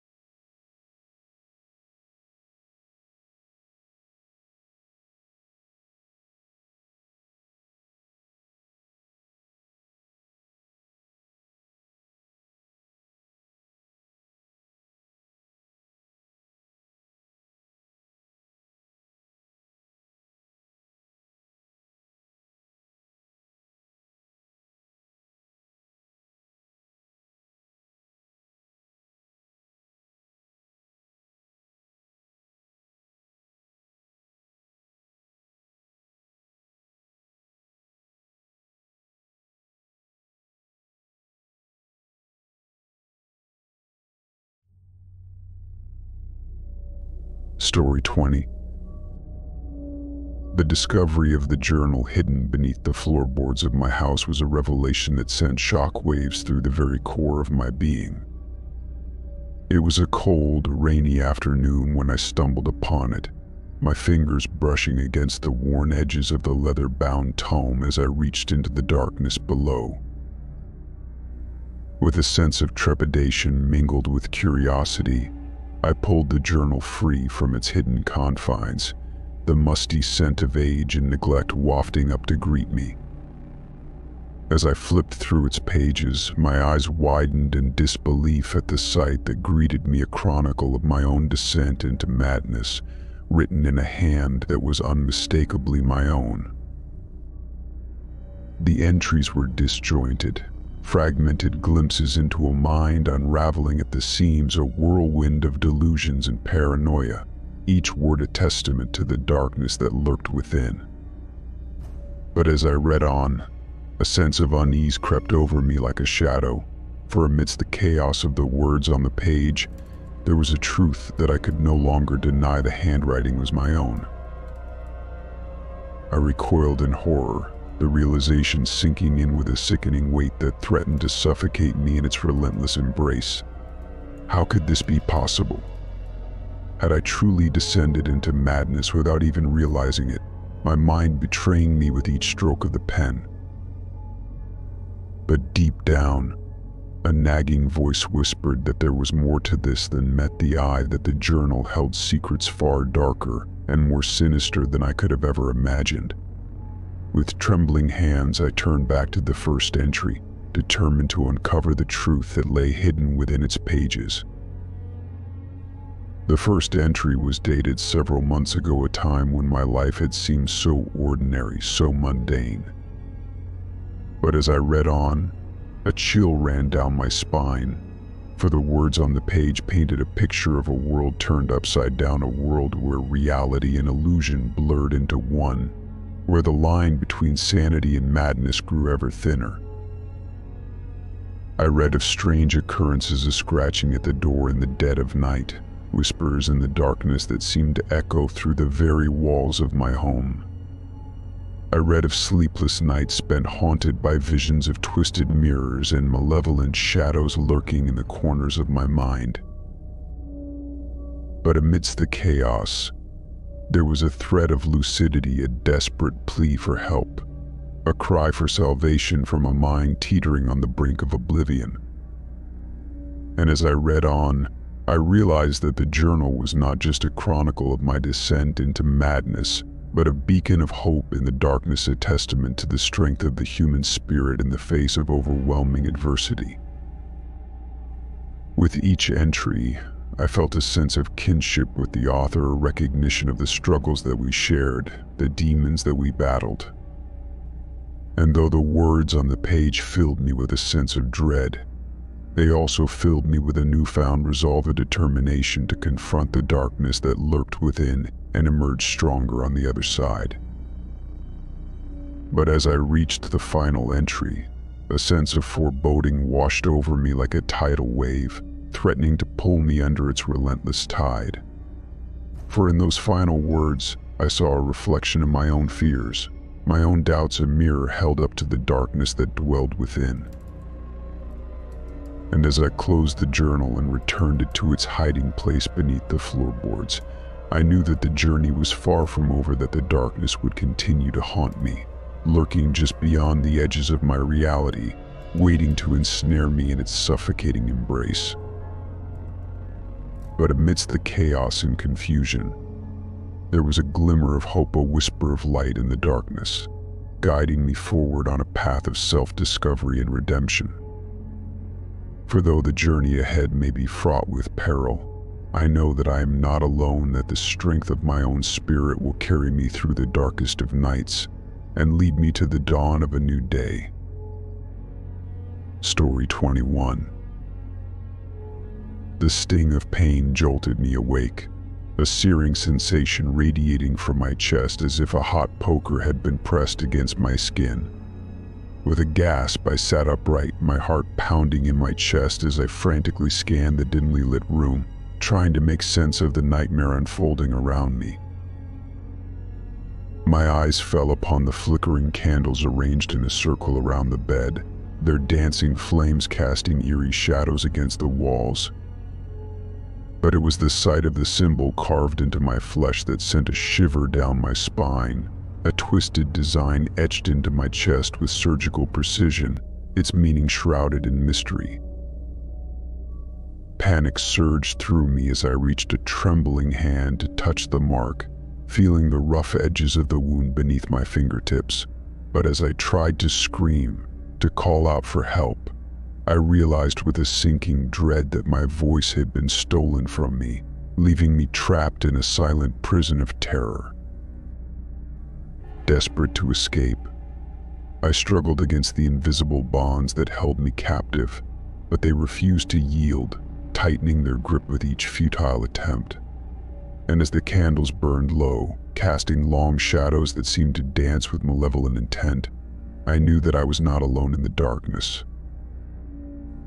Whispers echoed in the silence, a chorus of unseen voices speaking in hushed tones that sent a chill down my spine. I strained to make out their words, but they were like a foreign language, incomprehensible and yet somehow familiar, as if echoing from the depths of a half-remembered dream. Fear clutched at my heart as I realized that I was caught in the grip of something far beyond my understanding, a force that defied explanation and threatened to consume me whole. But even as despair threatened to overwhelm me, a glimmer of defiance flickered within me, a stubborn refusal to surrender to the darkness that sought to claim me. With trembling hands, I reached for the nearest candle, its flame dancing in the still air like a beacon of hope amidst the encroaching shadows. And as I held it aloft, its warm light pushing back the darkness, I felt a surge of courage welling up from deep within me a determination to face whatever horrors awaited me in the night. Gathering my strength, I rose to my feet, the flames of the candles casting long shadows that seemed to stretch and contort with each step I took. But I refused to be deterred, pressing onward through the oppressive darkness with a single-minded focus that bordered on madness. As I moved through the labyrinthine corridors of the house, I felt as if I were being watched, the unseen eyes of some malevolent presence following my every move. But I refused to look back, my gaze fixed firmly ahead as I searched for any sign of a way out, any glimmer of hope in the suffocating gloom. And then, just when it seemed that all was lost, I stumbled upon a hidden doorway concealed behind a tapestry its ancient wood groaning in protest as I pushed it open. Beyond lay a chamber bathed in an ethereal glow, its walls adorned with strange symbols and arcane sigils that pulsed with otherworldly energy. Heart pounding in my chest, I stepped into the chamber, the air thick with the scent of incense and something darker, something primal that stirred deep within my soul and as I approached the center of the room, I saw a pedestal bathed in a pool of soft light, upon which rested a gleaming dagger adorned with strange runes. With a sense of dread mingled with determination, I reached out and grasped the dagger, its hilt cool against my skin as I felt its power coursing through me. And then, with a single swift motion, I brought the blade down upon the symbol carved into my chest, cutting through flesh and bone with a sickening squelch. As blood pooled around me, I felt a surge of liberation wash over me, the invisible bonds that had held me captive shattering like brittle glass. And as I looked up, I saw them, my family, their faces bathed in the soft glow of the candles, their eyes brimming with tears of relief as they rushed to embrace me. In that moment, surrounded by the warmth of their love, I knew that I had triumphed over the darkness that had threatened to consume me. And though the scars of that night would linger long after the candles had burned low, I also knew that I would never again be afraid to face the shadows that lurked in the depths of my own soul. Story 22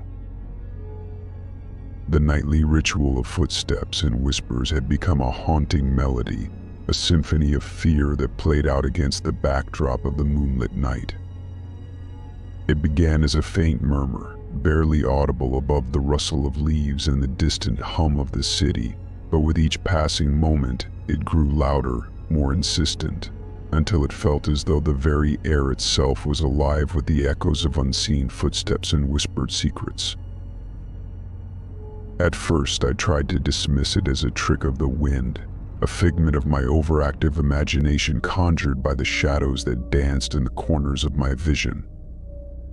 But as the night stretched into weeks, and the footsteps continued unabated, I could no longer deny the unsettling truth something was pacing back and forth outside my window, something that lurked just beyond the veil of darkness.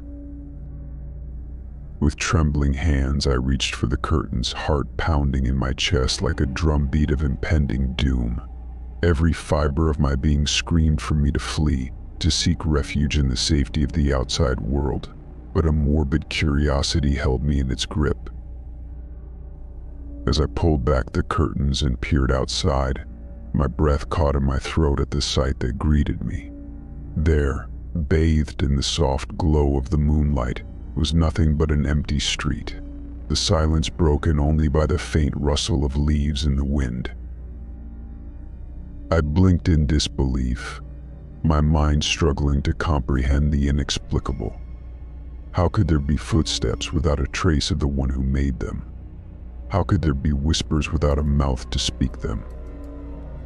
It defied all logic, all reason, leaving me adrift in a sea of uncertainty and fear. Night after night, the footsteps persisted, each night louder and more menacing than the last. And with each passing night, the whispers grew more sinister, speaking of ancient curses and forbidden rituals, of things that should never have been unleashed upon the world. I became a prisoner in my own home, consumed by a relentless paranoia that threatened to consume me whole. Sleep became a distant memory, replaced by the endless torment of footsteps and whispers that echoed through the halls of my mind. But amidst the chaos and confusion, a flicker of defiance ignited within me a determination to uncover the truth, no matter the cost. I scoured every inch of my home, searching for any clue, any shred of evidence that might shed light on the mystery that had consumed my life.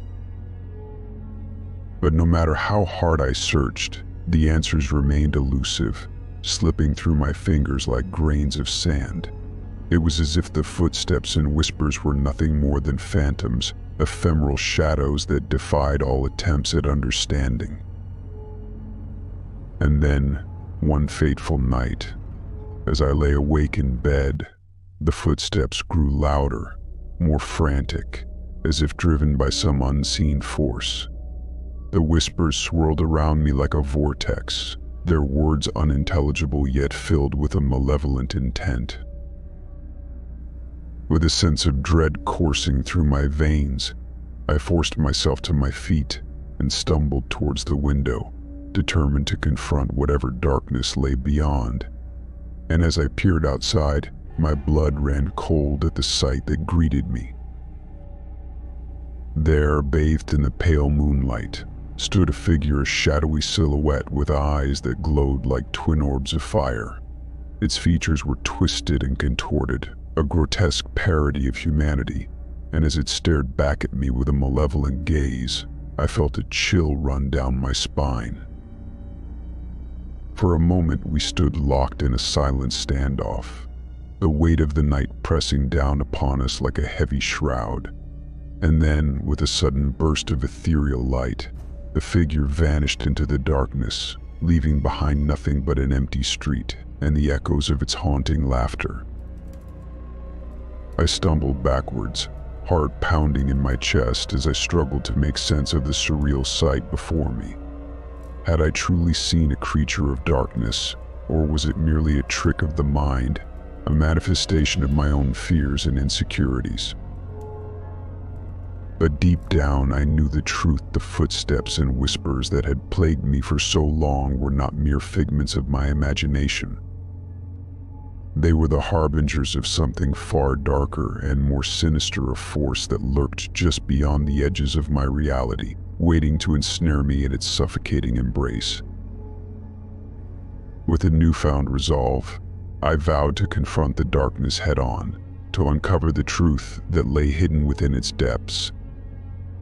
For though the journey ahead may be fraught with peril, I know that I am not alone, that the strength of my own spirit will guide me through the darkest of nights and lead me to the dawn of a new day. As I stood there, trembling in the wake of the eerie encounter, a sense of determination surged within me like a flickering flame in the darkness. I knew that I couldn't continue to live in fear, trapped within the confines of my own home, haunted by unseen terrors. Armed with newfound resolve, I embarked on a quest for answers, delving into the depths of ancient texts and forgotten lore in search of any clue that might shed light on the mysterious presence that had plagued me for so long. But with each passing day, the mystery only deepened, the whispers of the past echoing through the corridors of time, revealing fragments of a history shrouded in darkness. And as I unraveled the threads of the past, I came to realize that the footsteps and whispers were not merely random occurrences, they were manifestations of a curse that had plagued my family for generations. A curse born of ancient rituals and forbidden knowledge. With this revelation, a sense of dread washed over me like a tidal wave, threatening to pull me under its relentless tide. For I knew that the curse could not be broken easily, that it would take more than mere determination to overcome the darkness that lurked within. But amidst the chaos and confusion, there was a glimmer of hope, a whisper of light in the darkness, guiding me forward on a path of redemption and salvation. And though the journey ahead may be fraught with peril, I know that I am not alone, that the strength of my own spirit will carry me through the darkest of nights and lead me to the dawn of a new day.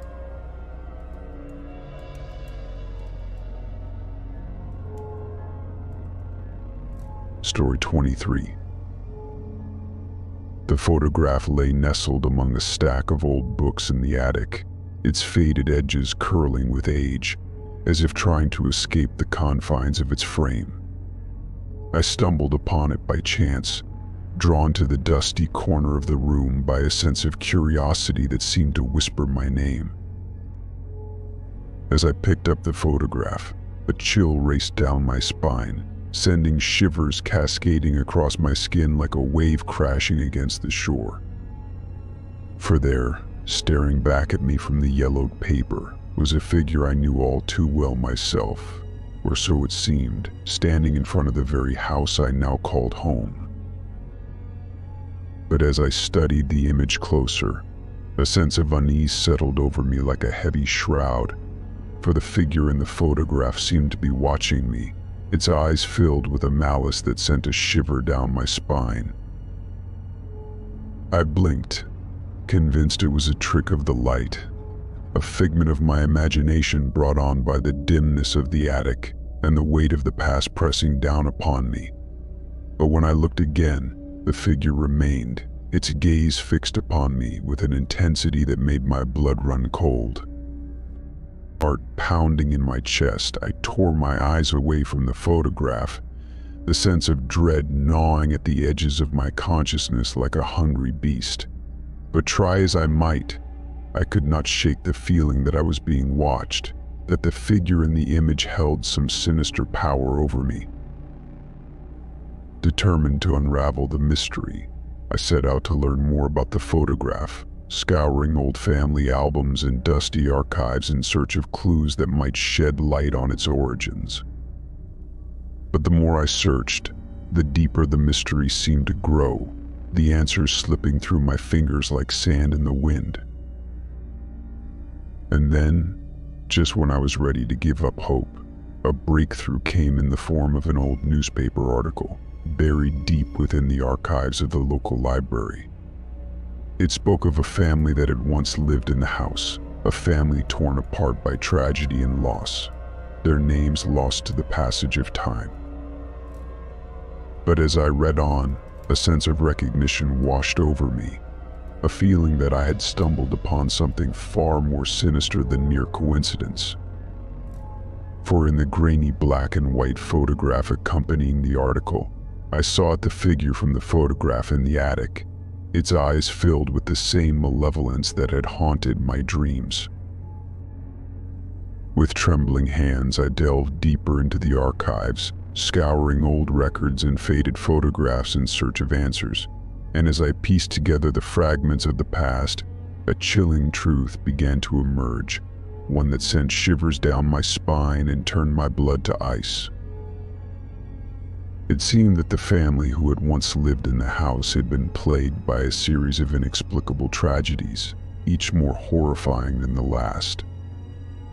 And at the center of it all was a figure shrouded in darkness, a shadowy presence that seemed to linger at the edges of every photograph, its eyes filled with a hunger that could not be quenched. But as I delved deeper into the mystery, I realized that the figure was not merely a bystander, but a malevolent force hell-bent on wreaking havoc upon the world of the living. And somehow, through some twisted quirk of fate, it had set its sights upon me, determined to drag me down into the depths of its own twisted reality. Terrified and alone, I knew that I had to confront the darkness head-on, to banish the shadowy figure from my life once and for all and so armed with nothing but my own courage and determination, I returned to the attic, the photograph clutched tightly in my trembling hands. As I stood before the image, its eyes boring into mine with a hunger that seemed to consume me from within, I felt a surge of defiance welling up from deep within me. For I knew that no matter how powerful the darkness may be, it could never extinguish the light of hope that burned bright within my soul. With a steady hand, I reached for a nearby candle, its flame flickering in the still air like a beacon of hope amidst the encroaching shadows. And as I held it aloft, its warm light pushing back the darkness, I felt a surge of strength coursing through me, a determination to face whatever horrors awaited me in the night. With a single swift motion, I brought the flame to the photograph, watching as the edges caught fire and the image began to curl and blacken with smoke. And as the flames consumed the paper, I felt a weight lift from my shoulders, a sense of liberation washing over me like a wave crashing against the shore. In that moment, I knew that I had triumphed over the darkness that had sought to claim me that I had emerged from the depths of despair stronger and more resilient than ever before. And though the scars of the past would linger long after the flames had died down, I also knew that I would never again be afraid to confront the shadows that lurked in the depths of my own soul. Story 24 The night had been restless, filled with fitful dreams that danced on the edge of my consciousness like shadows in the moonlight. When I finally emerged from the depths of slumber, I was greeted by a sight that sent a chill down my spine my body, covered in bruises and scratches, as if I had been dragged across the floor while I slept. Panic surged through me like a tidal wave, threatening to drown me in its suffocating embrace. How had this happened? What unseen force had laid claim to my sleeping form, leaving behind a trail of evidence that spoke of horrors beyond comprehension? As I struggled to piece together the events of the night before, a sense of overwhelming dread washed over me like a torrential rain, clouding my thoughts and obscuring the memories that lurked just beyond the edges of my consciousness. Try as I might, I could recall nothing just fragments of dreams that flitted through my mind like phantoms in the darkness. With trembling hands, I of the fears and insecurities that lurked within. With a heavy heart, I resolved to confront the darkness head on, to embrace the shadows that haunted my dreams with courage and resolve. For though the journey ahead may be fraught with peril, I know that I am not alone, that the strength of my own spirit will guide me through the darkest of nights and lead me to the dawn of a new day. As I delve deeper into the recesses of my mind, I uncovered memories that had long been buried beneath layers of denial and repression. Visions of past traumas and fears that I had sought to forget flooded my consciousness, each one a piece of the puzzle that had eluded me for so long. But amidst the darkness, there was also light a glimmer of hope that shone like a beacon in the night. For with each memory unearthed, I found a newfound strength within myself, a resilience that had been forged in the fires of adversity. Armed with this newfound understanding, I vowed to confront the darkness head on, to embrace the shadows that lurked within with courage and resolve.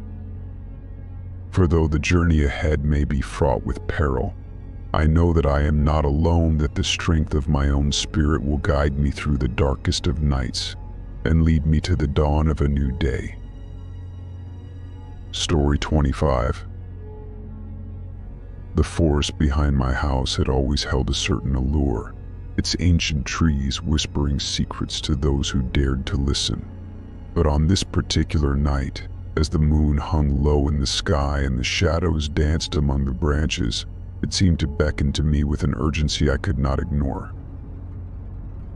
I stood at the edge of the forest, the hairs on the back of my neck prickling with a sense of foreboding as I listened to the soft rustle of leaves in the breeze.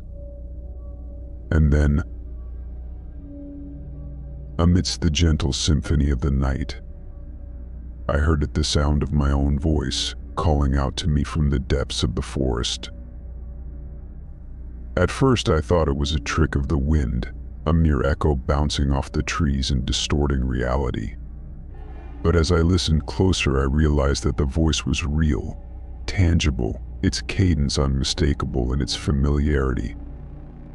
Heart pounding in my chest I stepped into the darkness, the soft earth yielding beneath my feet as I ventured deeper into the embrace of the forest. With each step, the voice grew louder, its tone filled with a sense of urgency that sent a shiver down my spine. I called out into the night, my voice joining the chorus of whispers that seemed to emanate from the very heart of the forest. But there was no response, only the haunting echo of my own words bouncing off the trees in the stillness of the night. Driven by a sense of curiosity mingled with fear, I pressed onward, my senses heightened as I navigated the winding paths that crisscrossed the forest floor. The air was thick with the scent of pine and earth, the darkness pressing in around me like a suffocating blanket. And then, just when it seemed that I could go no further, I stumbled upon a clearing bathed in moonlight, its center illuminated by a soft, ethereal glow. And there, standing at the edge of the clearing, was a figure shrouded in shadow, its features obscured by the darkness that surrounded it. Heart pounding in my chest, I called out to the figure, my voice trembling with a mixture of fear and anticipation. And to my surprise it answered, its voice a mere whisper in the stillness of the night. As I approached, the figure stepped forward into the light, revealing itself to be a reflection of my own likeness, its eyes filled with a sadness that seemed to mirror my own. And as I stared into those familiar eyes, I felt a sense of recognition wash over me, a feeling that I had encountered this figure before, in some distant dream or half-forgotten memory.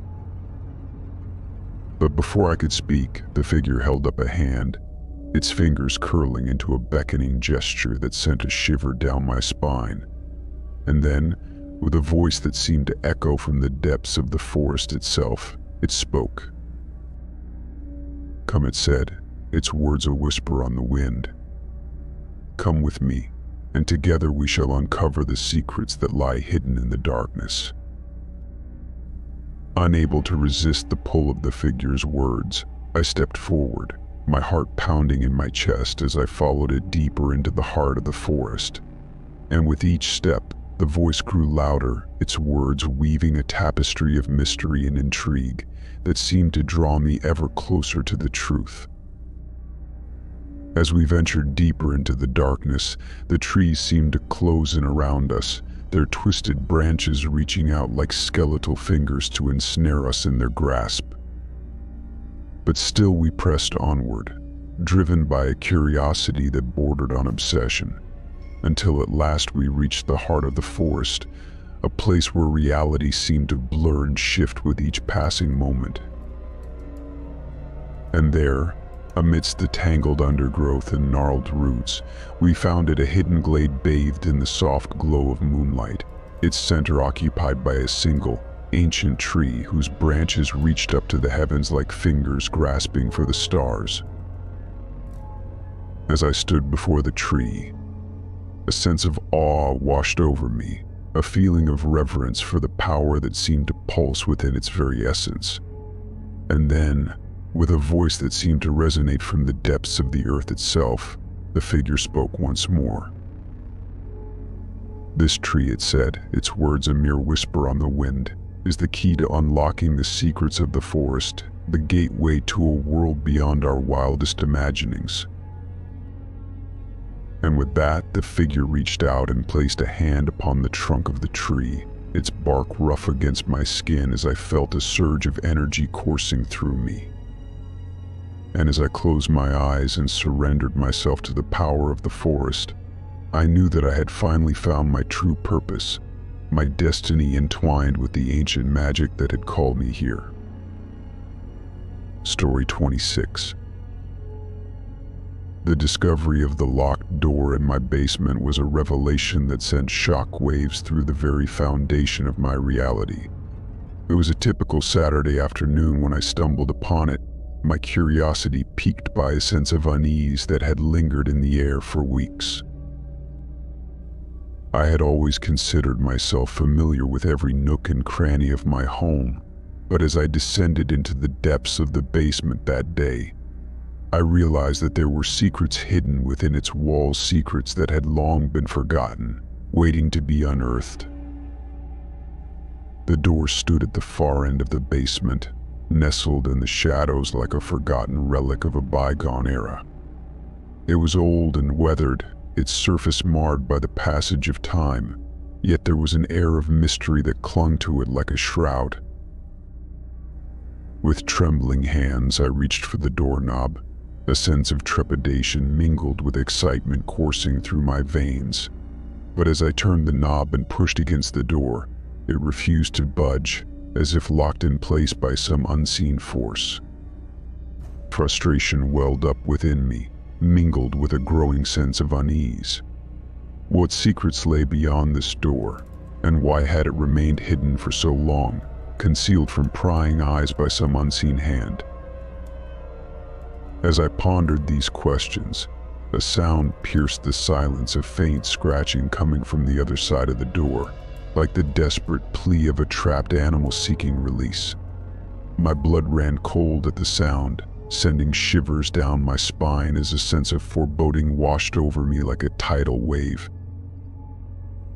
For a moment I hesitated, the weight of uncertainty pressing down upon me like a heavy shroud. But then, driven by a primal instinct to uncover the truth, I reached for the door once more, determined to see what lay beyond. With a final burst of effort, the door gave way, swinging open on rusty hinges to reveal a darkness so thick it seemed to swallow the very light around it.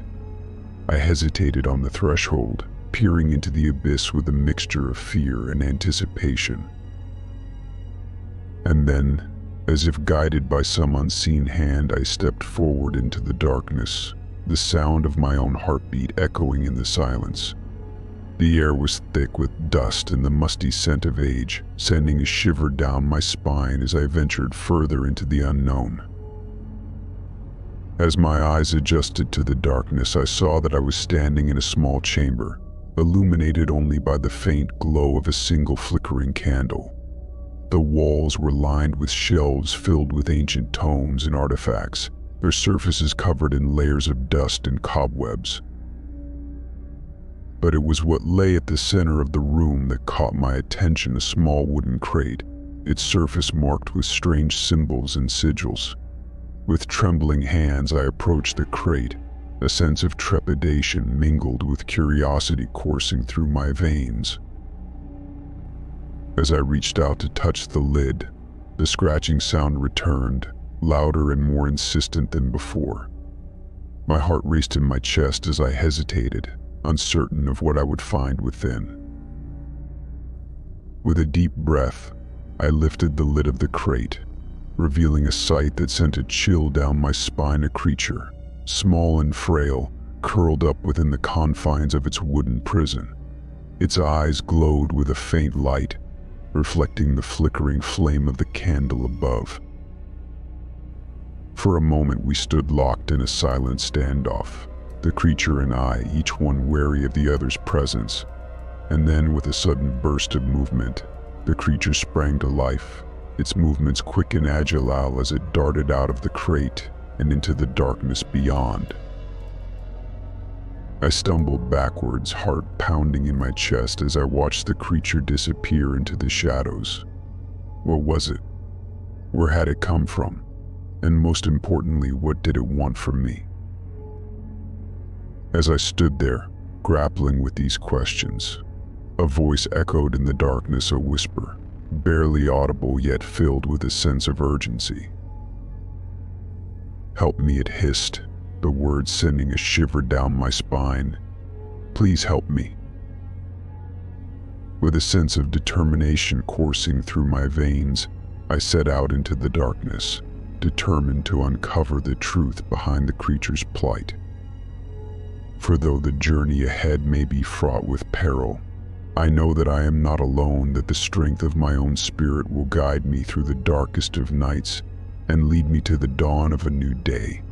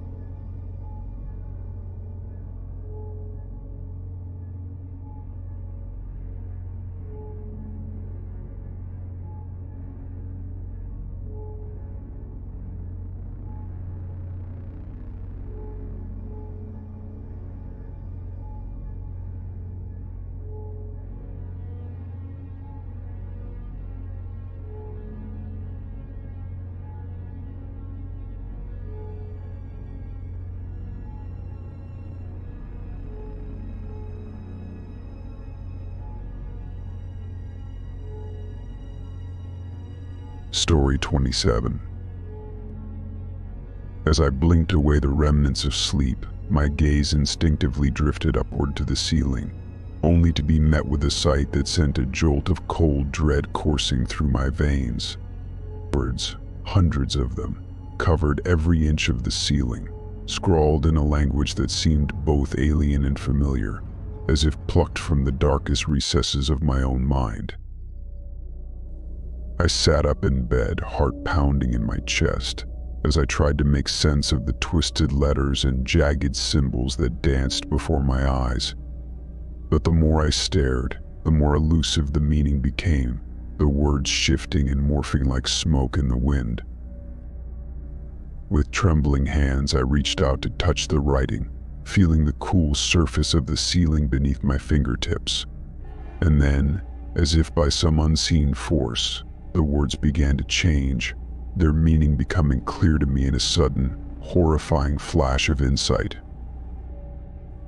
They were my thoughts, my innermost fears and desires laid bare for all to see, twisted and corrupted by some malevolent force that sought to consume me whole. And as I read the words, a sense of unease settled over me like a heavy shroud, filling the room with a palpable sense of dread. Desperate to escape the suffocating grip of the words, I tore my gaze away from the ceiling, my heart racing as I tried to calm the storm of emotions raging within me. But no matter how hard I tried to push them away, the words lingered in the air like a sinister whisper, taunting me with their insidious presence. With a sense of determination born of desperation, I resolved to decipher the message, to unravel the twisted labyrinth of my own thoughts and fears. But as I studied the words, I realized that they were more than just random scribblings on the ceiling. They were a reflection of the darkest corners of my soul, a mirror held up to the depths of my own psyche. And as I delved deeper into the twisted tapestry of my thoughts, I felt a chill run down my spine for I knew that the words held a power beyond my comprehension, a power that threatened to consume me from within. But still I pressed on, driven by a need to understand, to unlock the secrets hidden within the tangled web of my own mind. And as I did, the words began to shift and change, their meaning becoming clearer with each passing moment. They spoke of fears long buried, of doubts and insecurities that had plagued me for as long as I could remember. They whispered of desires unfulfilled, of dreams left unrealized in the harsh light of day. And they taunted me with visions of a future dark and uncertain, a future shaped by the choices I had yet to make. As I read on, I felt a sense of despair welling up from deep within me, threatening to engulf me in its suffocating embrace. But even as the darkness closed in around me, I refused to surrender to its grasp, clinging to a flicker of hope that burned bright within my soul. With renewed determination, I reached out to the words, tracing their jagged edges with trembling fingers as I sought to unravel the mystery of their meaning. And then, in a moment of clarity, it all became clear the words were not my own, but those of a twisted reflection, a shadow self born from the depths of my own subconscious. And as I realized the truth, a sense of liberation washed over me, freeing me from the suffocating weight of my own thoughts and fears. For I knew that no matter how dark the path ahead may be, I would face it head on, armed with the knowledge that the power to shape my own destiny lay within me.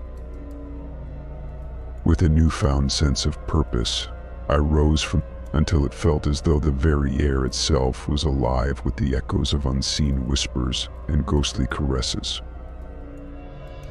As I drifted into the embrace of slumber each night, I could feel it a cold hand brushing against my cheek, sending shivers down my spine the touch was light, almost ephemeral, yet there was a weight to it, a sense of presence that lingered long after the sensation had faded. Accompanying the touch were whispers soft, barely audible murmurs that spoke of promises unkept and debts unpaid. They were words spoken in hushed tones, their meaning obscured by the veil of darkness that surrounded me. Yet their intent was clear a reminder of the sins of the past, the mistakes that had come back to haunt me in the dead of night. But when I woke up, there was no one there, just an empty room bathed in the soft glow of the moonlight, the echoes of the whispers still lingering in the air like a haunting melody. At first I tried to dismiss it as a trick of the mind, a figment of my overactive imagination conjured by the shadows that danced in the corners of my vision. But as the night stretched into weeks, and the whispers continued unabated, I could no longer deny the unsettling truth something was reaching out to me from beyond the veil of darkness, something that sought to draw me into its sinister embrace. With each passing night, the whispers grew louder, more insistent, until they seemed to reverberate through the very fabric of reality itself. They spoke of secrets long buried, of sins left unpunished, and with each word I felt a chill run down my spine, a sense of dread that threatened to consume me whole. I became a prisoner in my own home, consumed by a relentless paranoia that gnawed at the edges of my sanity. Sleep became a distant memory, replaced by the endless torment of whispers and ghostly caresses that haunted my dreams. But amidst the chaos and confusion, there was a glimmer of hope, a whisper of light in the darkness, guiding me forward on a path of redemption and salvation. And though the journey ahead may be fraught with peril, I know that I am not alone, that the strength of my own spirit will guide me through the darkest of nights and lead me to the dawn of a new day. With a newfound resolve, I set out to uncover the truth behind the whispers that had plagued me for so long delving into the depths of ancient lore and forgotten rituals in search of answers that had eluded me thus far. But the path was fraught with danger, each step a struggle against the forces that sought to drag me down into the abyss. Shadows danced on the edge of my vision, whispering secrets that sent shivers down my spine, yet I pressed on, driven by a determination to confront the darkness that lurked within. As I delved deeper into the mysteries of the night, I uncovered truths that sent shock waves through the very core of my being. The whispers spoke of a pact made in blood, of promises broken and souls bound to darkness. And with each revelation, I felt a sense of horror wash over me like a tidal wave. But amidst the darkness, there was also light a glimmer of hope that shone like a beacon in the night. For I realized that the whispers were not just a curse, but a warning, a reminder of the consequences of my actions and the power of redemption that lay within my grasp. Armed with this newfound understanding, I vowed to confront the darkness head on, to embrace the whispers that haunted my dreams with courage and resolve. For though the journey ahead may be fraught with peril, I know that I am not alone, that the strength of my own spirit will guide me through the darkest of nights and lead me to the dawn of a new day. Story 29 The discovery of the photograph album hidden in the attic seemed innocuous at first, a relic from a bygone era filled with memories of happier times. But as I flipped through the pages, tracing the faded edges of each photograph with trembling fingers, I realized that there was something deeply unsettling about the images that stared back at me. At first glance, they appeared to be ordinary family portraits, snapshots frozen in time of my loved ones smiling and laughing, their faces aglow with the warmth of shared moments captured for eternity. But as I studied the photographs closer, a sense of unease settled over me like a heavy shroud, for I realized that the faces were changing, their expressions twisting into grimaces of agony as if caught in the throes of some unspeakable horror. With growing dread, I turned the pages of the album, each new image more disturbing than the last as I watched the faces of my family members contort and warp before my very eyes. Their smiles turned into snarls of pain, their eyes darkening with despair, as if haunted by some unseen specter that lurked just beyond the edges of the frame. I tried to rationalize what I was seeing, to convince myself that it was merely a trick of the light or a figment of my overactive imagination. But deep down, I knew that there was something far more sinister at play, something that defied explanation and sent a chill down my spine. As I reached the final pages of the album, my heart sank like a stone in my chest, for there, amidst the twisted visages of my family members, was a photograph unlike any other. It depicted a scene of unspeakable horror, a tableau of suffering and torment that seemed to pulsate with a malevolent energy all its own. In the center of the image stood a figure, shrouded in darkness, its features obscured by the shadows that danced around it like specters in the night. And as I stared into its empty eyes, I felt a cold dread settle over me for I knew that this was no ordinary photograph, it was a window into a world of darkness and despair, a world that I had unwittingly stumbled upon. With trembling hands, I closed the album, the weight of its revelations pressing down upon me like a suffocating blanket.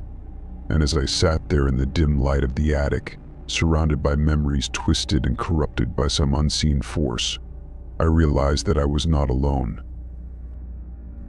for in the silence of the room, I heard the faint sound of whispers, the echo of voices long silenced by the passage of time. And as the darkness closed in around me, I knew that I had to confront the truth, to unravel the mystery of the photograph album and the twisted fate that had befallen my family. Driven by a sense of determination born of desperation, I set out to uncover the secrets hidden within the photographs, to untangle the threads of darkness that bound my loved ones to a fate worse than death. And as I delved deeper into the mystery, I found myself drawn into a world of darkness and despair, a world where the lines between reality and nightmare blurred with each passing moment. But still I pressed on, driven by a stubborn refusal to surrender to the darkness that threatened to consume me whole. With each new revelation, I felt a sense of clarity wash over me, a glimmer of hope amidst the encroaching shadows that surrounded me. And then, just when it seemed that all hope was lost, I stumbled upon a clue hidden in the depths of the attic, a single photograph tucked away in the corner of a dusty old trunk. It depicted a scene from my childhood, a moment of innocence captured in time before the darkness had descended upon our family. As I studied the image, a sense of recognition washed over me, for I realized that the figure in the photograph album was none other than myself, a twisted reflection of the person I once was. And with that realization came a surge of determination a resolve to confront the darkness that had taken root within me and reclaim my family from its clutches. Armed with newfound purpose, I set out into the night, guided by the flickering light of the moon and the whispers of the past that echoed in my ears. And as I ventured forth into the unknown, I knew that whatever trials lay ahead, I would face them with courage and conviction ready to confront the darkness that lurked within and emerge stronger on the other side. Story 30 The sensation of cold wind whipped against my skin, and the acrid scent of salt water stung my nostrils. Confusion clouded my mind as I struggled to make sense of my surroundings. How had I come to be standing on the edge of a cliff, with nothing but the yawning abyss below? Panic surged through me like a tidal wave as I realized the precariousness of my situation.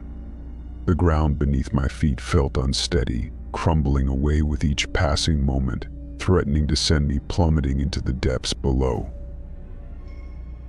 Desperate to escape the nightmare that held me in its grip, I tried to step back, to retreat from the edge of the cliff and find solid ground.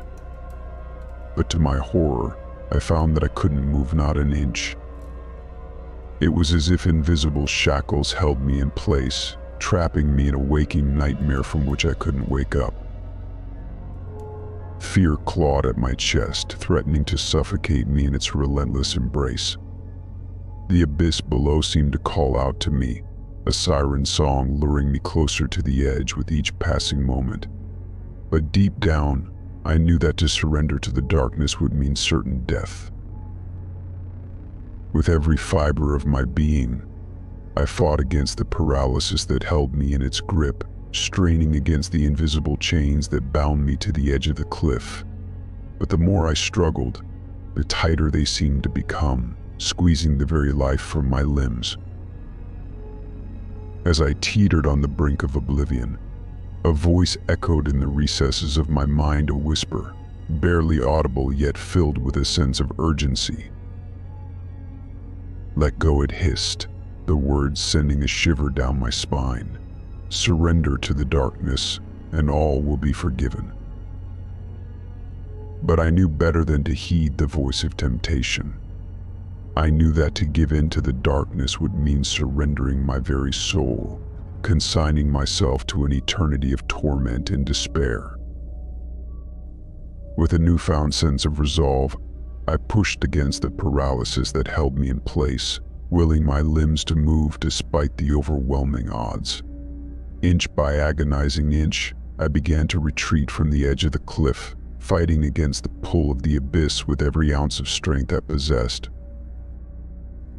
And then, just as it seemed that all hope was lost, I felt the invisible shackles loosen their grip, releasing me from their suffocating embrace.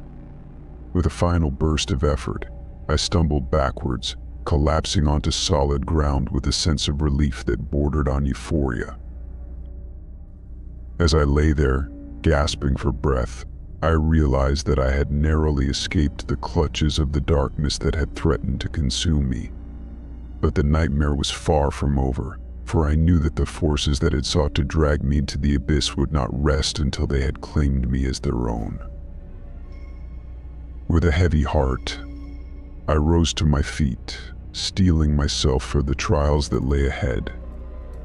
For though the journey ahead may be fraught with peril, I know that I am not alone that the strength of my own spirit will guide me through the darkest of nights and lead me to the dawn of a new day. As I stood there shaken but determined, I couldn't shake the feeling that I was being watched. The cliffs loomed ominously behind me, their jagged edges casting long shadows that seemed to stretch out towards me like fingers of darkness. But it wasn't just the cliffs that unsettled me, it was the sense of something lurking just beyond the edges of my perception, something dark and malevolent that hungered for my soul. With a sense of trepidation, I scanned the horizon, searching for any sign of the presence that I could feel closing in around me. But the landscape was empty, devoid of any visible threat. And yet, I couldn't shake the feeling that I was being hunted, that the darkness that had tried to claim me at the edge of the cliff was still lurking in the shadows, waiting for the perfect moment to strike. With each passing moment, the sense of unease grew stronger, until it felt as though the very air around me was charged with a palpable sense of dread. I knew that I had to keep moving, to find a way to escape the darkness that threatened to consume me. With renewed determination, I set out into the wilderness, each step a testament to the strength of my will. And though the journey ahead would be fraught with danger, I knew that I could not falter not when the darkness was so close at hand. As I ventured deeper into the unknown, the landscape seemed to shift and warp around me, twisting into grotesque shapes that seemed to mock my efforts to escape. But still I pressed on, driven by a relentless determination to find a way out of the nightmare that held me in its grip. And then, just when it seemed that all hope was lost, I stumbled upon a narrow path leading away from the cliffs, a faint glimmer of light shining in the distance. With a sense of relief washing over me, I quickened my pace, each step bringing me closer to freedom. But as I walked, I couldn't shake the feeling that the darkness was still watching, still waiting for the perfect moment to strike. And though I knew that the road ahead would be long and perilous, I vowed to face whatever dangers lay in wait with courage and resolve. For though the night may be dark and full of terrors, I know that the light of dawn will eventually break through the darkness, leading me to safety and salvation and with that thought to guide me, I set out into the unknown, ready to face whatever trials may come my way,